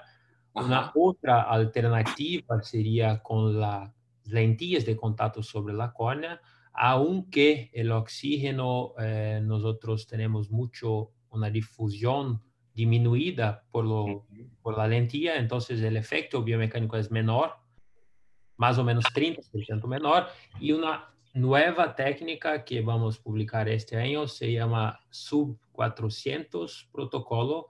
Y con esto nosotros hemos tratado córneas finas como 215 micra. Entonces, la paquimetría para nosotros hoy no es más una contraindicación para el procedimiento. Todas las, las córneas podemos hacer. ¿Por qué podemos hacer? Porque eh, para cada córnea eh, nosotros calculamos una potencia, una energía total distinta. Entonces, para un paciente que tiene una córnea de 200 micras, nosotros utilizamos una energía menor do que para otro paciente con una córnea más espesa. Pero eh, esto vamos a eh, publicar, espero que este año está listo y después todos van a tener acceso y podrán utilizarlo. Emilio, y, para vos y todos los otros panelistas, ¿tienen experiencia además en lente de contacto en el uso de lentículo de, smile o en córneas tectónicas para llevar esa córnea al grosor que queremos o siempre lente de contacto? Nosotros no, no, tenemos experiencia, como yo he hablado, estamos trabajando mucho para hacer todo más simple, entonces este protocolo es que acreditamos que sea el futuro eh, pero todo que se pone sobre la córnea puede eh, disminuir el, oxígeno. Esto es más válido para lentillas de contacto, pero mm. con, con lentillas de desmayos no, no tengo experiencia. Jorge, Vale, Pablo, Mohamed, comentarios. Estuvo espectacular la charla, la verdad que muy didáctica. Eh, una, una charla espectacular. Entiendo también que ahora para compensar eh, lo que es el efecto, eh, el menor efecto que tendremos con, con los protocolos acelerados, podemos aumentar un poco la radiancia de la, del, del, de, la energía, igual como podemos disminuirlo para la córnea ultrafina. Entonces, ahora ya como entiendo de vuestro equipo, que vosotros vais a salir con el, eh, con el protocolo para la córnea ultrafina, pero también tendrán otro protocolo para, la, para, para, para los protocolos acelerados eh, para poder obtener la misma eficacia o cómo no. quiero saberlo. Sí, sí, lo, el, el, la, el motivo era que para crianças aún hoy utilizamos el protocolo de Dresden para, para hacerlo porque sabemos que es lo que nos da el mayor efecto biomecánico. Pero el problema muchas veces en crianzas tenemos el tiempo como un problema porque no, no se quedan paradas. Entonces pensamos, ¿y si eh, hicimos un crosslinking acelerado, pero también con más energía? Si, ¿qué, qué vas a, a, tener? Entonces hemos estudiado in vitro, en, en carnes de, de, porco, de porco, y lo que observamos es que con 7.2 joules conseguimos lo mismo que 5.4, pero más rápido. Entonces, eh, esto surgió, empezamos a hacer esto después de los estudios de, efecto de endotelio que no serían eh, malos cuando aumentamos la energía, porque tenemos ahora evidencias del grupo de Seiler que la concentración de riboflavina a nivel de endotelio es eh, menor do que pensábamos a 20 años. Entonces, esto es un factor a más que nos protege y protege el endotelio. Entonces, eh, pero clínicamente no hay muchos estudios. Hay uno de nosotros también eh, con 7.2 eh, joules en total. Y hemos tenido resultados clínicos en un año igual, pero sabemos que tienen un efecto menor. Entonces, claro, ahí tenemos la pregunta, ¿qué estamos usando para, para, para medir? ¿Es bueno o no es? Eh, no tenemos la respuesta porque sabemos seguramente que es menor que Dresden aún. Eh, yo un comentario, eh, bueno, más que nada dos, dos comentarios. Del uno, creo que la forma de hacer la, el, el crosslinking en lámpara de hendidura también creo que le veo una gran utilidad para cuando tenemos esas úlceras, esas úlceras corneales y, hacemos protocolos para, para, para esceptizar eh, eh, la superficie. Eh, me parece increíble porque muchas veces tenemos como que el miedo de llevar a esos pacientes al quirófano en medio, en medio estéril. Nosotros normalmente hacemos en quirófano el crosslinking y, y, creo que puede ayudar muchísimo como herramienta como para este tipo de, casos, ¿no? En úlceras. No sé si es que ya estás trabajando, Emilio, con algún protocolo para esto. Y la otra cosa es eh, invitarte a que la próxima vez que pongas tu mapa que pusiste, también Ecuador esté, esté de rojo. Somos una de las capitales mundiales del queratocono. Eh, Mohamed, eh, compartimos ahí algunos, con, algunos, algunos chats en, eh, de, de, de, Medio Oriente y, y la verdad tenemos mucha, mucha casuística y claro, tenemos un poco de, sobre, de su registro acá, pero pero creo que sería interesante estudiar eh, como, tú lo, como tú lo mencionas. Nos gustaría mucho, seguro. Eh, y sobre su primera, primer comentario ha sido sobre, me olvidé ahora, sobre... eh, sobre córneas y abscesos corneales, eh, crosslinking y abscesos o úlceras corneales. Ah, sí, la sí, forma sí. De, la, de hacerle la radiación en lámpara de Sí, e, este abril ahora tenemos dos artículos, uno en córnea, ha sido publicado creo que ayer, y otro en JRS, los dos sobre esto, que, que, que entonces cuando utilizamos Pack Crosslinking, un de no, nuestro amigo Boris de Israel, eh, eh, o que hemos visto con antibiótico junto podemos anticipar, o sea, el epitelio se, se cera más rápidamente. Eh, y un tercer estudio que estamos acabando ahora, el eh, suizo, pero con muchos sitios, eh, también hemos, eh, también no, por la primera vez hemos tratado solamente con crosslinking y no con solamente con crosslinking, sin antibióticos y también hemos visto en cerca de 80-85% de casos una revitalización completa, mismo sin eh, antibióticos o, o, antimicrobianos. Entonces, para nosotros ha sido fantástico, claro, sabemos que la resistencia a los antibióticos es creciente en el mundo. Eh, esto fue una de las motivaciones, claro. Perfecto, gracias. Creo que Andrés, continuamos con la charla de, de, Sí, de Mohamed. Adelante. Muy bien. Bueno, eh, les dejamos con, eh, vamos a compartir ahorita la charla de Mohamed. Como ustedes ya, ya, habla- ya hablamos de él en la etapa inicial, una persona eh, que está ligada mucho en, el, en, en todo lo que es el queratocono del medio ambiente, del Medio Oriente. Creo que debería ser un miembro de la ONU, porque habla español como latino, trabaja con los europeos y practica en el, y practica en el Medio Oriente. Es algo realmente, realmente. Te falta algo de Australia, alguna cosa, no sé si es que vas a tener alguna experiencia australiana y con eso estamos cubiertos, Mohamed. Un embajador. Perfecto. Por favor, comenzamos con tu charla y muchas gracias por la, aceptar la invitación.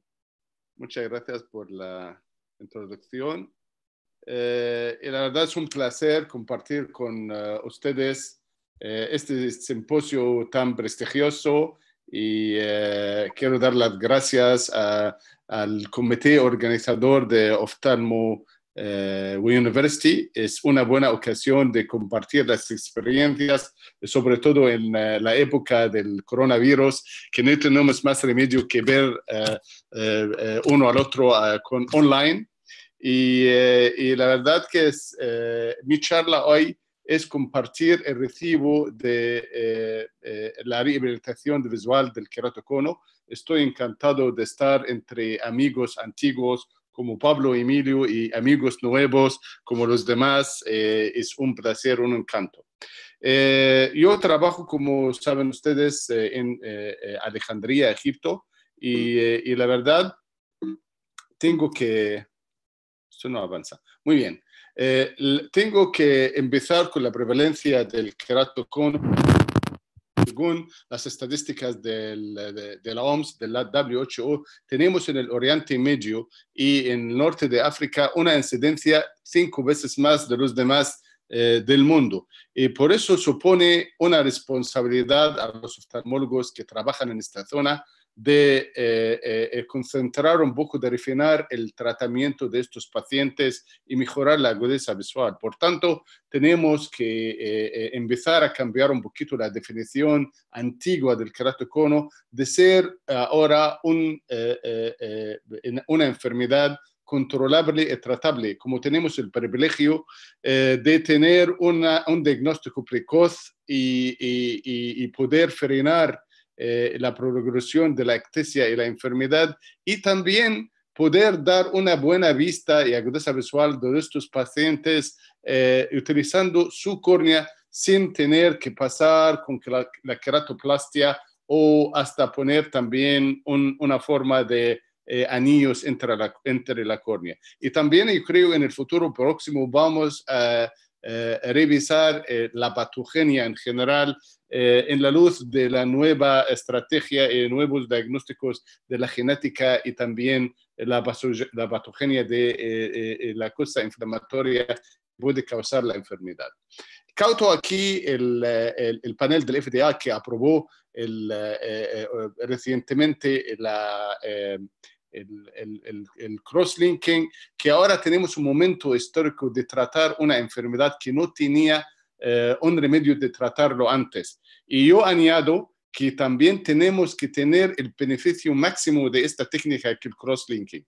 Y sabemos que la respuesta adecuada de esta pregunta que no, que el cross-linking en sí mismo no es eficaz solo, por solo mismo, de eh, eh, eh, tener o, dar una agudeza visual buena a pacientes. Y si revisamos los resultados de, mis pacientes, que estoy hasta el momento haciendo el clásico protocolo de Dresden, que todos los cambios al nivel de la córnea, en el CAMAX, tanto como el otro, tiene su eh, eh, efecto significativo en los primeros tres meses o seis meses. Eh, eh, y después de eso, todos los cambios no, no son significativos, tanto a nivel del CAMAX como a nivel de la elevación de la córnea de, anterior y posterior de la córnea. Y por eso tiene su impacto a la agudeza visual corregida o no corregida todo tiene este efecto significativo en los primeros seis meses del tratamiento del cross-linking. Y a partir de eso, los cambios no son significativos. Eh, hace un par de años yo publiqué el seguimiento de mis pacientes eh, eh, después de siete años de seguimiento del corneal cross-linking en, en el clásico Dresden protocolo y la verdad es una buena ocasión de poder tener un seguimiento tanto largo para evaluar nuestras técnicas. Entonces, eh, eh, si eh, la meta final que, que nosotros ganamos de este tratamiento, que es el cross-linking, es simplemente recentramiento del cono de la córnea y lograr mejorar un poquito la, la regularidad de la córnea enfrente de la entrada de la pupila y tener una refracción, refracción estable del ojo. Pero sí tenemos que tener una estrategia de, de mejorar la vista de estos pacientes, tenemos que dirigir hacia medir estas irregularidades en la entrada de la pupila y que causa, por supuesto, las aberraciones de alto orden y luego también intentar corregirlo para mejorar la degradación de la vista. En el, en el, en el pasado, hasta los años 2012, todos los atentos de medir estas córneas irregulares con los aberrómetros de bajo orden fue un fracaso para poder obtener eh, eh, unos mapas fiables y, por tanto también un perfil de ablación fiable para regular esta córnea. Y por eso teníamos que utilizar un tipo de eh, perfil eh, eh, topo guided, de perfil eh, guiado por topografía corneal, para poder regular un poquito estas córneas, aunque no fueron tan eficaces como voy a explicar luego.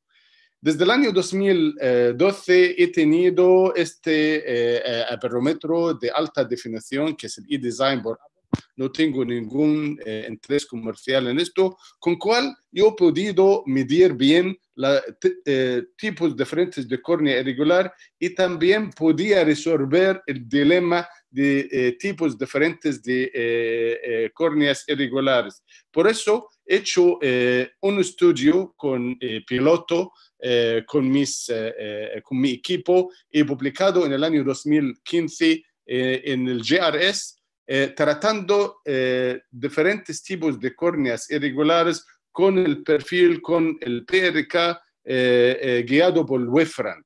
Y la verdad, tenía tres patologías de córneas irregulares para tratarlo. la córnea después de la queratotomía radial, que es un ejemplo muy difícil, la córnea después del descentramiento del LASIK y la córnea, el queratocono después del corneal cross-linking, que es el ejemplo muy común en nuestro mundo en el Oriente Medio. El, éxodo, el éxito que teníamos aquel entonces eh, nos, eh, eh, animó de extender el estudio a 34 pacientes, 34 ojos de keratocono después del cross-linking un año después y seguir con este tratamiento del PRK guiado por el Wefran un año entero. las, las, características de inclusión fue una córnea estable por lo menos un año después del cross-linking, una edad más de 20 años, de 21 años eh, de los pacientes y una córnea espesor corneal más de 400 micras.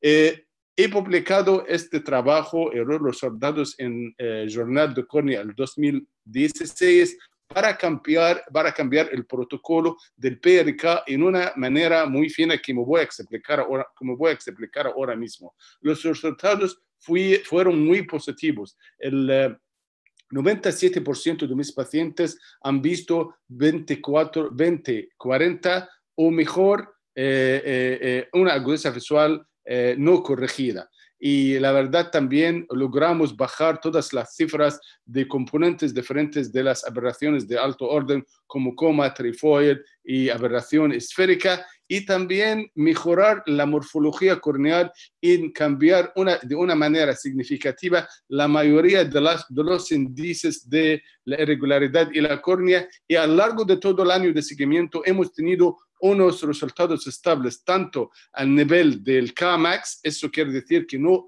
no había progresión de la, de la, de la ectasia y también no había progresión del de, eh, espesor de la córnea. el espesor de la córnea, la pacometría, fue total, totalmente estable durante este año.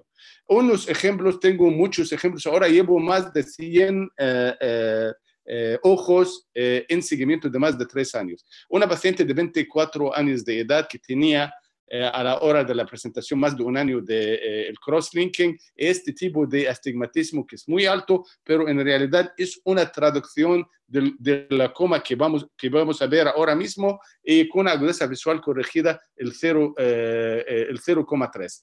Vemos que la irregularidad de la córnea en el centro de la córnea que con el, uh, de alto orden nos logramos tener eh, una, eh, una mapa y vemos cómo está la córnea tan importante que degrada la vista. Con esto se puede generar un perfil de ablación irregular fiable y la técnica quirúrgica es muy sencilla, simplemente quitar el epitelio con un cepillo de, de Amoils y luego también aplicar el PRK eh, y al final finalizamos con eh, eh, eh, ablación- eh, aplicación de mitomicina para 20 segundos y la técnica está totalmente dirigida por el patrón de rieles que garantiza que el láser llega en el punto adecuado de corregir la irregularidad de la córnea. Eh, va- vemos que el, el, el preoperatorio, la topografía preoperatoria ha mejorado bastante en el postoperatorio con una regula- eh, regularización de la entrada de la córnea. La verdad no pudimos pedir en estos casos la eh, eficacia y la precisión eh, eh, perfecta. Sin embargo, eh, menos imperfección, pero mucha regularidad de la córnea que nos lleva a mejorar la vista de la agudeza visual no corregida, tanto como corregida a la unidad.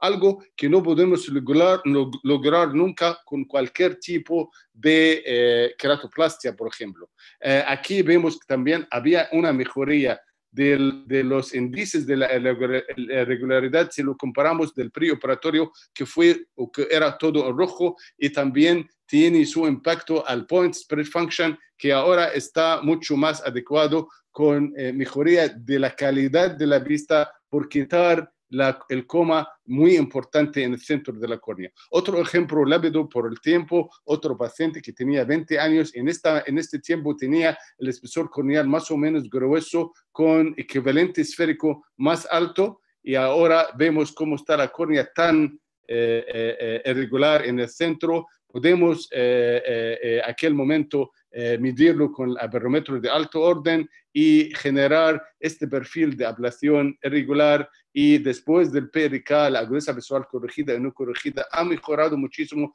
tanto como la, eh, eh, eh, la, eh, la topografía de la entrada de la córnea y también el point spread function y eh, la mapa barométrica. Tenemos que dar todo el crédito a John Canalopoulos que nos han advertido como oftalmólogos que podemos hacer una ablación de la córnea del keratocono con el láser excimer, haciendo un PRK, una cosa que era totalmente un tabú antes, de, un tabú antes del, del año 2009 haciendo lo que se llamaba aquel entonces lo, el protocolo de Atenas de hacer el PRK con el corneal crosslinking simultáneamente. Y después de los años del año 2009 había tantas eh, eh, publicaciones eh, para refinar la técnica de, simultánea de hacer el PRK en el mismo tiempo con el, con el corneal crosslinking. Y la verdad, ahora después de, de mi experiencia, yo no estoy haciendo el, protocolo de Atenas, en vez de esto hago mi protocolo que es la técnica secuencial, haciendo el PRK dirigido o guiado por el wavefront después de un año del corneal crosslinking. Primero hago el corneal crosslinking, espero un año, luego el PRK guiado por el wavefront con la mitomicina A. Y tengo muchísimas razones de defender mi técnica tanto defender por qué secuencial es mejor que simultáneo y por qué el wavefront es mejor que eh, la topografía, que, que, la PRK guiado por la topografía. Porque he aprendido de mis errores, como dice Niels Bohr, que es un premio ganador de premio Nobel en física, que un experto, un, eh, un experto es una persona que ha hecho todos los errores en un campo muy estrecho. Y la verdad he tenido o he aprendido de mis errores. Primero, tengo cuatro razones por esto. Primero, hemos aprendido de la medicina que hacer dos, eh, eh, dos intervenciones muy invasivas a la misma vez es mucho. Y la verdad, nosotros eh, con hacer la, las dos técnicas en el mismo tiempo, hacemos un daño, un doble insulto a la córnea y a los keratocitos. Eh, por eso había muchísimos pacientes que terminaban un retraso de epitelización de la córnea que nos lleva a riesgo de eh, tener un, una cicatrización, una opacidad corneal importante y hasta también la, el riesgo aumentar el riesgo de la infección. Si tendrás un retraso de epitelización más de una semana, por ejemplo. Y de segundo, eh, el hacer las dos técnicas al mismo tiempo, no tenemos en cuenta el efecto final del corneal crosslinking. Sabemos que el corneal crosslinking puede tener un efecto exagerado y puede eh, hacer una córnea tan curva, una córnea más plana y en este caso, en, en el caso de la córnea, vamos a tener una tendencia a hipermetropía muy importante y algunos pacientes han terminado con la técnica simultánea en una hipermetropía que no tenía ninguna manera de corregir más de hacer una queratoplastia. Otra razón también, tercero, que nosotros no tenemos direccionar nuestro tratamiento simultáneo hacia la hemetropia. Entonces, tenemos que esperar hasta eh, eh, terminar el tratamiento, luego hacer otro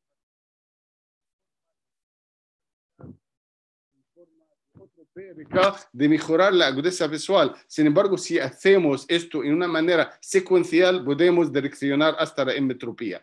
Y por último, tengo muchas cosas de decir eh, eh, con la inconveniencia de la, de la, eh, del perfil guiado por la topografía. Primero, sabemos que los perfiles guiados por la topografía corneal dependen a, un, a unos aparatos de topografía basado del placido, de los anillos de placido, que no miden para nada el centro, el pleno centro de la córnea, sin embargo, hacen una extrapolación del centro de la córnea. Esto eh, nos va a dirigir a, un mal eh, relación de la causa-efecto, porque sabemos que la causa de la degeneración de la vista está en el mismo centro. Tenemos que medir bien el mismo centro para poder eh, tener como aquí en el wavefront, en, en los guías guiadas por wavefront, medimos bien el mismo centro y medir bien la córnea, la, la, el, el, coma y, y las aberraciones de alto orden,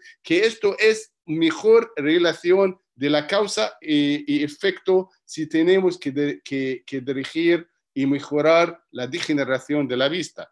Y para mí, eh, utilizar un perfil de ablación guiado por la topografía corneal es como utilizar un martillo grande para matar una hormiga, una cosa que no tiene mucho sentido. Y por último, todos los aparatos que miden, o aperómetros que miden la topografía corneal, miden toda la entrada de la pupila punto a punto, como pixeling de la pupila misma, y generan de esto un perfil de ablación guiado por eh, eh, eh muchos eh, tecnología para compensar la cicloterción y compensar también el centroid shift bajo de la luz, bajo de la luz del láser, y por eso tener eh, el láser del láser muy bien eh, dirigido al punto exacto eh, para corregir lo que es el pi, para corregir lo que es la irregularidad en la córnea. Si no tendremos este mecanismo tan perfecto y, el láser del láser llega un poquito menos perfecto, podemos terminar en una córnea más irregular. Esto también nos lleva a la superioridad del de perfil eh.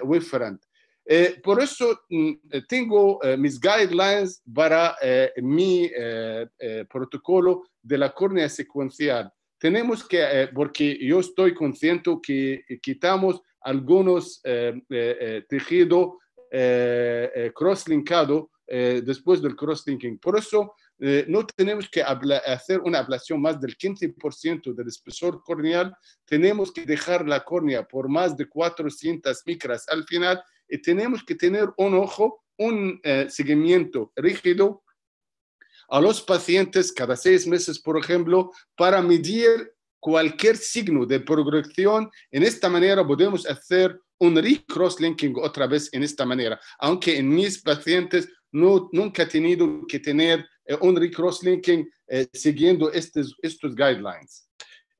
por eso mi conclusión es, eh, la forma secuencial de hacer un PRK a los pacientes del keratocono después de terminar el cross-linking, por lo menos más de un año, tiene su lógica de mejorar la agudeza visual y poder prometer a nuestros pacientes una vista sin gafas eh, eh, o sin depender a unos gafas eh, después de un año por lo menos.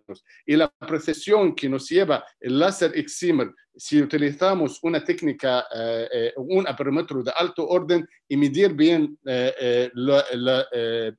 las aberraciones de alto orden, nos puede dirigir de la causa principal de la degeneración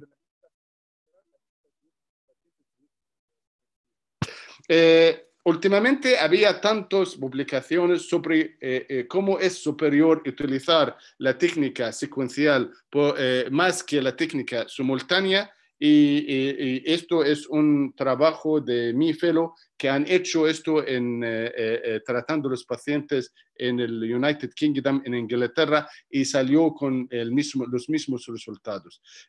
si tendremos el, el, placer de tener otra vez el, nuestros congresos, os voy a invitar todos eh, a mi curso en el, en el, en el ASCRS que viene, que el Modern Management of Regular Cornea. El año pasado eh, Emilio Torres estuvo con nosotros y este eh, curso lo llevo al podium del ASCRS ahora como 12 años seguidos con, con unos speakers muy respetuosos y prestigiosos.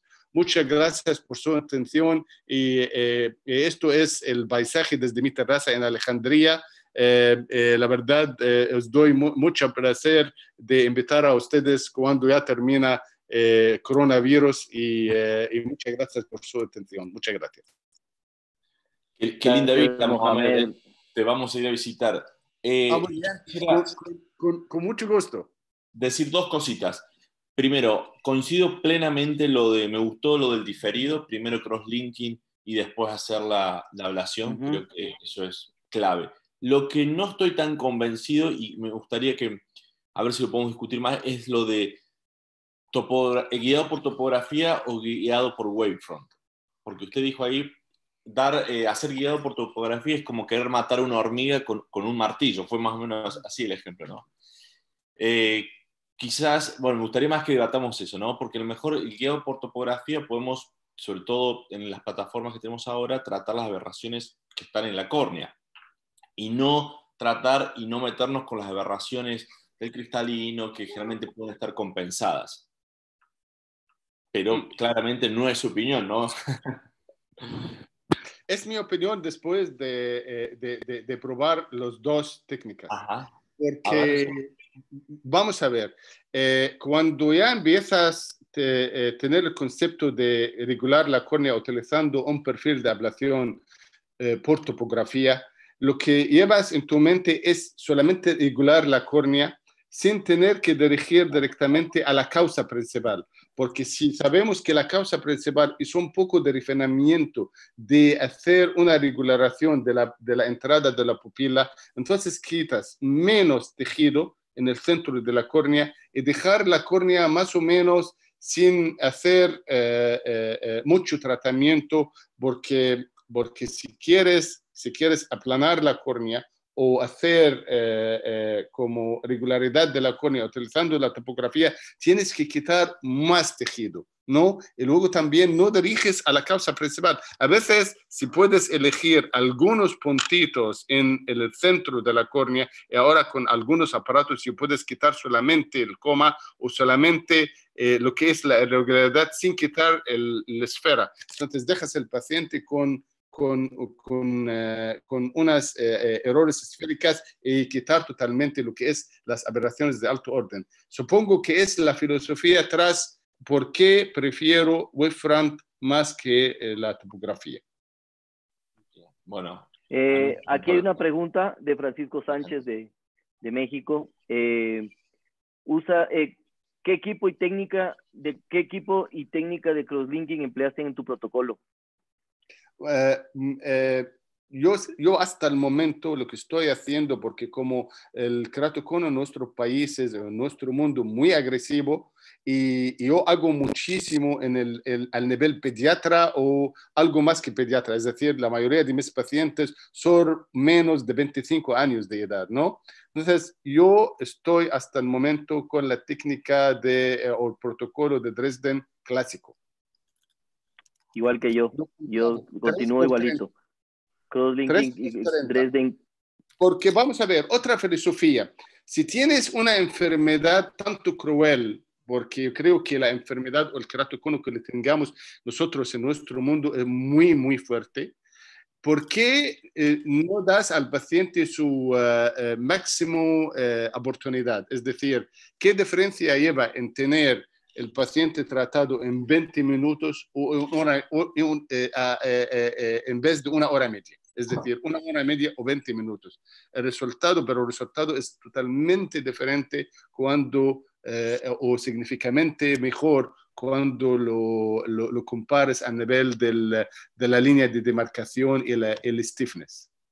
No sé si, si estáis de acuerdo. Eh, dentro, de tu dentro de tu revisión de los, de los casos que presentaste en, eh, creo que fue en el 2009, ¿verdad? Comenzaste desde el 2009. Eh, ¿Has hecho algún estudio cómo está la biomecánica de estos pacientes? No, no, porque aquel entonces no tenía estos aparatos de biomecánica. Y hasta también el momento no son fiables en medirla, porque hasta el momento nosotros esperamos un aparato que sea viable de medir la biomecánica en vivo, que creo en, en sobre todo en los casos con, con crosslinking, no hay un aparato hasta el momento actual que puede eh, hacer la respuesta correcta. ¿Cómo puedes medir la biomecánica? Y otro, eh, te voy a poner la, te voy a poner una pistola en la cabeza al frente de todos y quiero ver cuál es tu respuesta. Ahora, ahora que tenemos y estamos comenzando y que los, los nomogramas de inteligencia artificial, todo lo que ha hablado eh, Renato sobre el tema, eh, tú estarías todavía defendiéndole al 100% un protocolo de Atenas a pesar de que sabemos hoy en día que tenemos cambios biométricos? o mm. posiblemente o posiblemente sea algo que dices eh, retrospectivamente obviamente lo que tú dices es cierto no lo teníamos entonces no puedo no puedo no puedo hablar sobre algo que no sabía pero hoy conociendo podrá cambiar en algo el, el, nomograma eh, de Atenas a ciertos astigmatismos a ciertas ectasias iniciales ya no siendo tan agresiva eh, más o menos Mm, ¿Tú refieres que ahora con, este, con estas técnicas de inteligencia artificial y, con los cambios que puede haber después de eh, o hacer un modelo del cambio, podemos cambiar un poquito de opinión hacia el protocolo de Atenas? Correcto. Y yo creo que no porque hasta el momento no hay ninguna manera de medir el efecto del cross-linking. Yo tengo algunos pacientes que te puedo demostrar que había una, con la misma técnica, una, un cambio del, del, del, del, del Kmax de 7 o 8 eh, dioptrías. No es, no es la mayoría de los pacientes, porque, porque el 95% tiene una ablación eh, alrededor de 2 a 3 dioptrías, ¿no? pero supongamos que 5% salen de la norma y hay una ablación de 7 o 8 diopterías, que esto nunca lo puedes medir con la, eh, o nunca lo puedes averiguar con la inteligencia artificial. Entonces, si haces esto quitando las 50 mil, como dice el protocolo de Atenas, y luego también aplicar eh, tu técnica del cross-linking y al fin y al cabo terminar con una ablación de 8, de 8 eh, eh, dioptrías, el paciente va a terminar en una hipermetropía de plus 10 o 11 dioptrías, ¿no? ¿Cómo? Correcto. Esto, nunca, puedes, nunca puedes averiguar estos tipos de pacientes. Si tendremos, entonces, lo que es más lógico es primero, yo la verdad, por el, por el tema del tiempo, yo no podía hablar mucho de mi filosofía, pero hay algunos pacientes, si lo captas, eh, ahora ya tenemos el privilegio que, que, puedes diagnosticar el paciente de una manera muy precoz. Entonces, un keratocono justo al principio del keratocono, justo muy precoz. Entonces, estos pacientes, solo por tener un buen corneal cross-linking, ya tienen una agudeza visual corregida muy adecuada que hasta el paciente no pide más. Es decir, el paciente termina porque tú logras mejorar la, la agudeza visual no corregida, ¿no? Entonces el paciente después de un mes o dos meses de crosslinking ya puede ver la unidad con sus gafas. Una cosa que no lo tenía antes del crosslinking. Simplemente por lograr la regularización de la córnea. Y así terminamos. Es decir, yo nunca obligo al paciente de hacer empírica. Solo los pacientes que son que tienen unas, unas aberraciones de alto orden y tienen una mala calidad de la vista, que, que, que, tú puedes medirlo con este aberrómetro, esto es lo que, lo que aconsejo eh, de hacer este PRK. Pero tengo muchísimos pacientes, y te puedo decir, la mayoría de los pacientes están muy contentos con sus gafas después de... de, de, Gracias. Eh, Emilio, ¿algo, ¿algo relacionado? ¿O Andrés, alguna pregunta del, del, del, público? Hay una pregunta interesante que dice acá de un attendant anónimos. Dice, bueno, el waveform se realiza eh, con epitelio. Al retirarlo nos va a cambiar la superficie y por ende el patrón eh, aberrométrico. ¿Cómo lo compensa, si es que lo compensa? Es una pregunta para, con respecto al protocolo de usted, doctor Mohamed. Eh, él está, está hablando del, del, del, de, de, quitar el epitelio en una forma mecánica. No, si hay cambios en el patrón aberrométrico con o sin epitelio, si usted ha visto esto y cómo lo compensa si es así. Sí, lo que pasa es que yo estoy hablando ahora desde el año, estoy haciendo este protocolo desde el año 2012 y 2013, ¿no? Aquel entonces no teníamos cuenta del efecto del epitelio, cómo cambia el patrón del epitelio. Sería genial si tendremos en el futuro próximo eh, un, un, un, uh, un stromal mapping, un mapping del estroma de la córnea. Entonces puedes diseñar eh, eh, tu perfil de ablación según quitando el epitelio, pero hasta el momento no tienes esto. Eh, lo que pasa es que a lo mejor él le refiere al quitar el epitelio como efecto, como, como haces un masking effect, como un efecto de, de, de masking, entonces ya la, el estroma es mucho más irregular, ¿no? Perfecto. Esto, esto me lleva, esto me lleva a la manera de quitar el epitelio eh, a la hora de hacer el corneal cross-linking, porque yo nunca hago un, un, un, uh, un eh, nunca quito el epitelio de una forma mecánica. Yo, yo siempre hago un PTK, un PTK, un círculo de PTK con el láser excimer para quitar el epitelio para todos mis pacientes eh, eh, cuando hago el, el corneal cross-linking al principio. Esto hace dos efectos en realidad es decir, como eh, eh, un shaving de, del, del, cono, porque el paciente, eh, porque el epitelio sobre el cono es como 20 o 30 micras nada más, entonces quitando 50 micras, esto quita un poquito, un poquitín del estroma por el cono, y luego también hace un efecto de regularizar la córnea en el centro. Esto tengo otra charla que demuestra esto perfectamente. Y por eso, cuando ya quito el epitelio al final, el epitelio más o menos regular después de este año. Bien. Antes de seguir, quiero despedir a la doctora Valeria Sánchez, que tiene una junta ahora, eh, y ya nos quedan cinco minutos. Vale, y, y, y, si vemos el reloj, y si vemos el reloj de Mohamed, ya son, son las 12. 12. Ya sí, son sí, las 12 en, en, en, en, Alejandría, así que... La dejamos a Vale que vaya y nos quedamos un ratito más, ya estamos terminando. Gracias Valeria, fue brillante. Muchas gracias y doctor Mohamed, me faltan como una hora de discusión con usted sobre, sobre esto, epitelio, producción. Bueno, ya, ya nos juntaremos en otra ocasión. Gracias a todos. Gracias. No, vale. Cuídate, besos. Saludos Bye. casa. Gracias. Emilio, Jorge, ¿algo más que quieran agregar ya para ir cerrando? Eh, solamente sobre eso que el profesor Shafik ha, ha hablado, la pregunta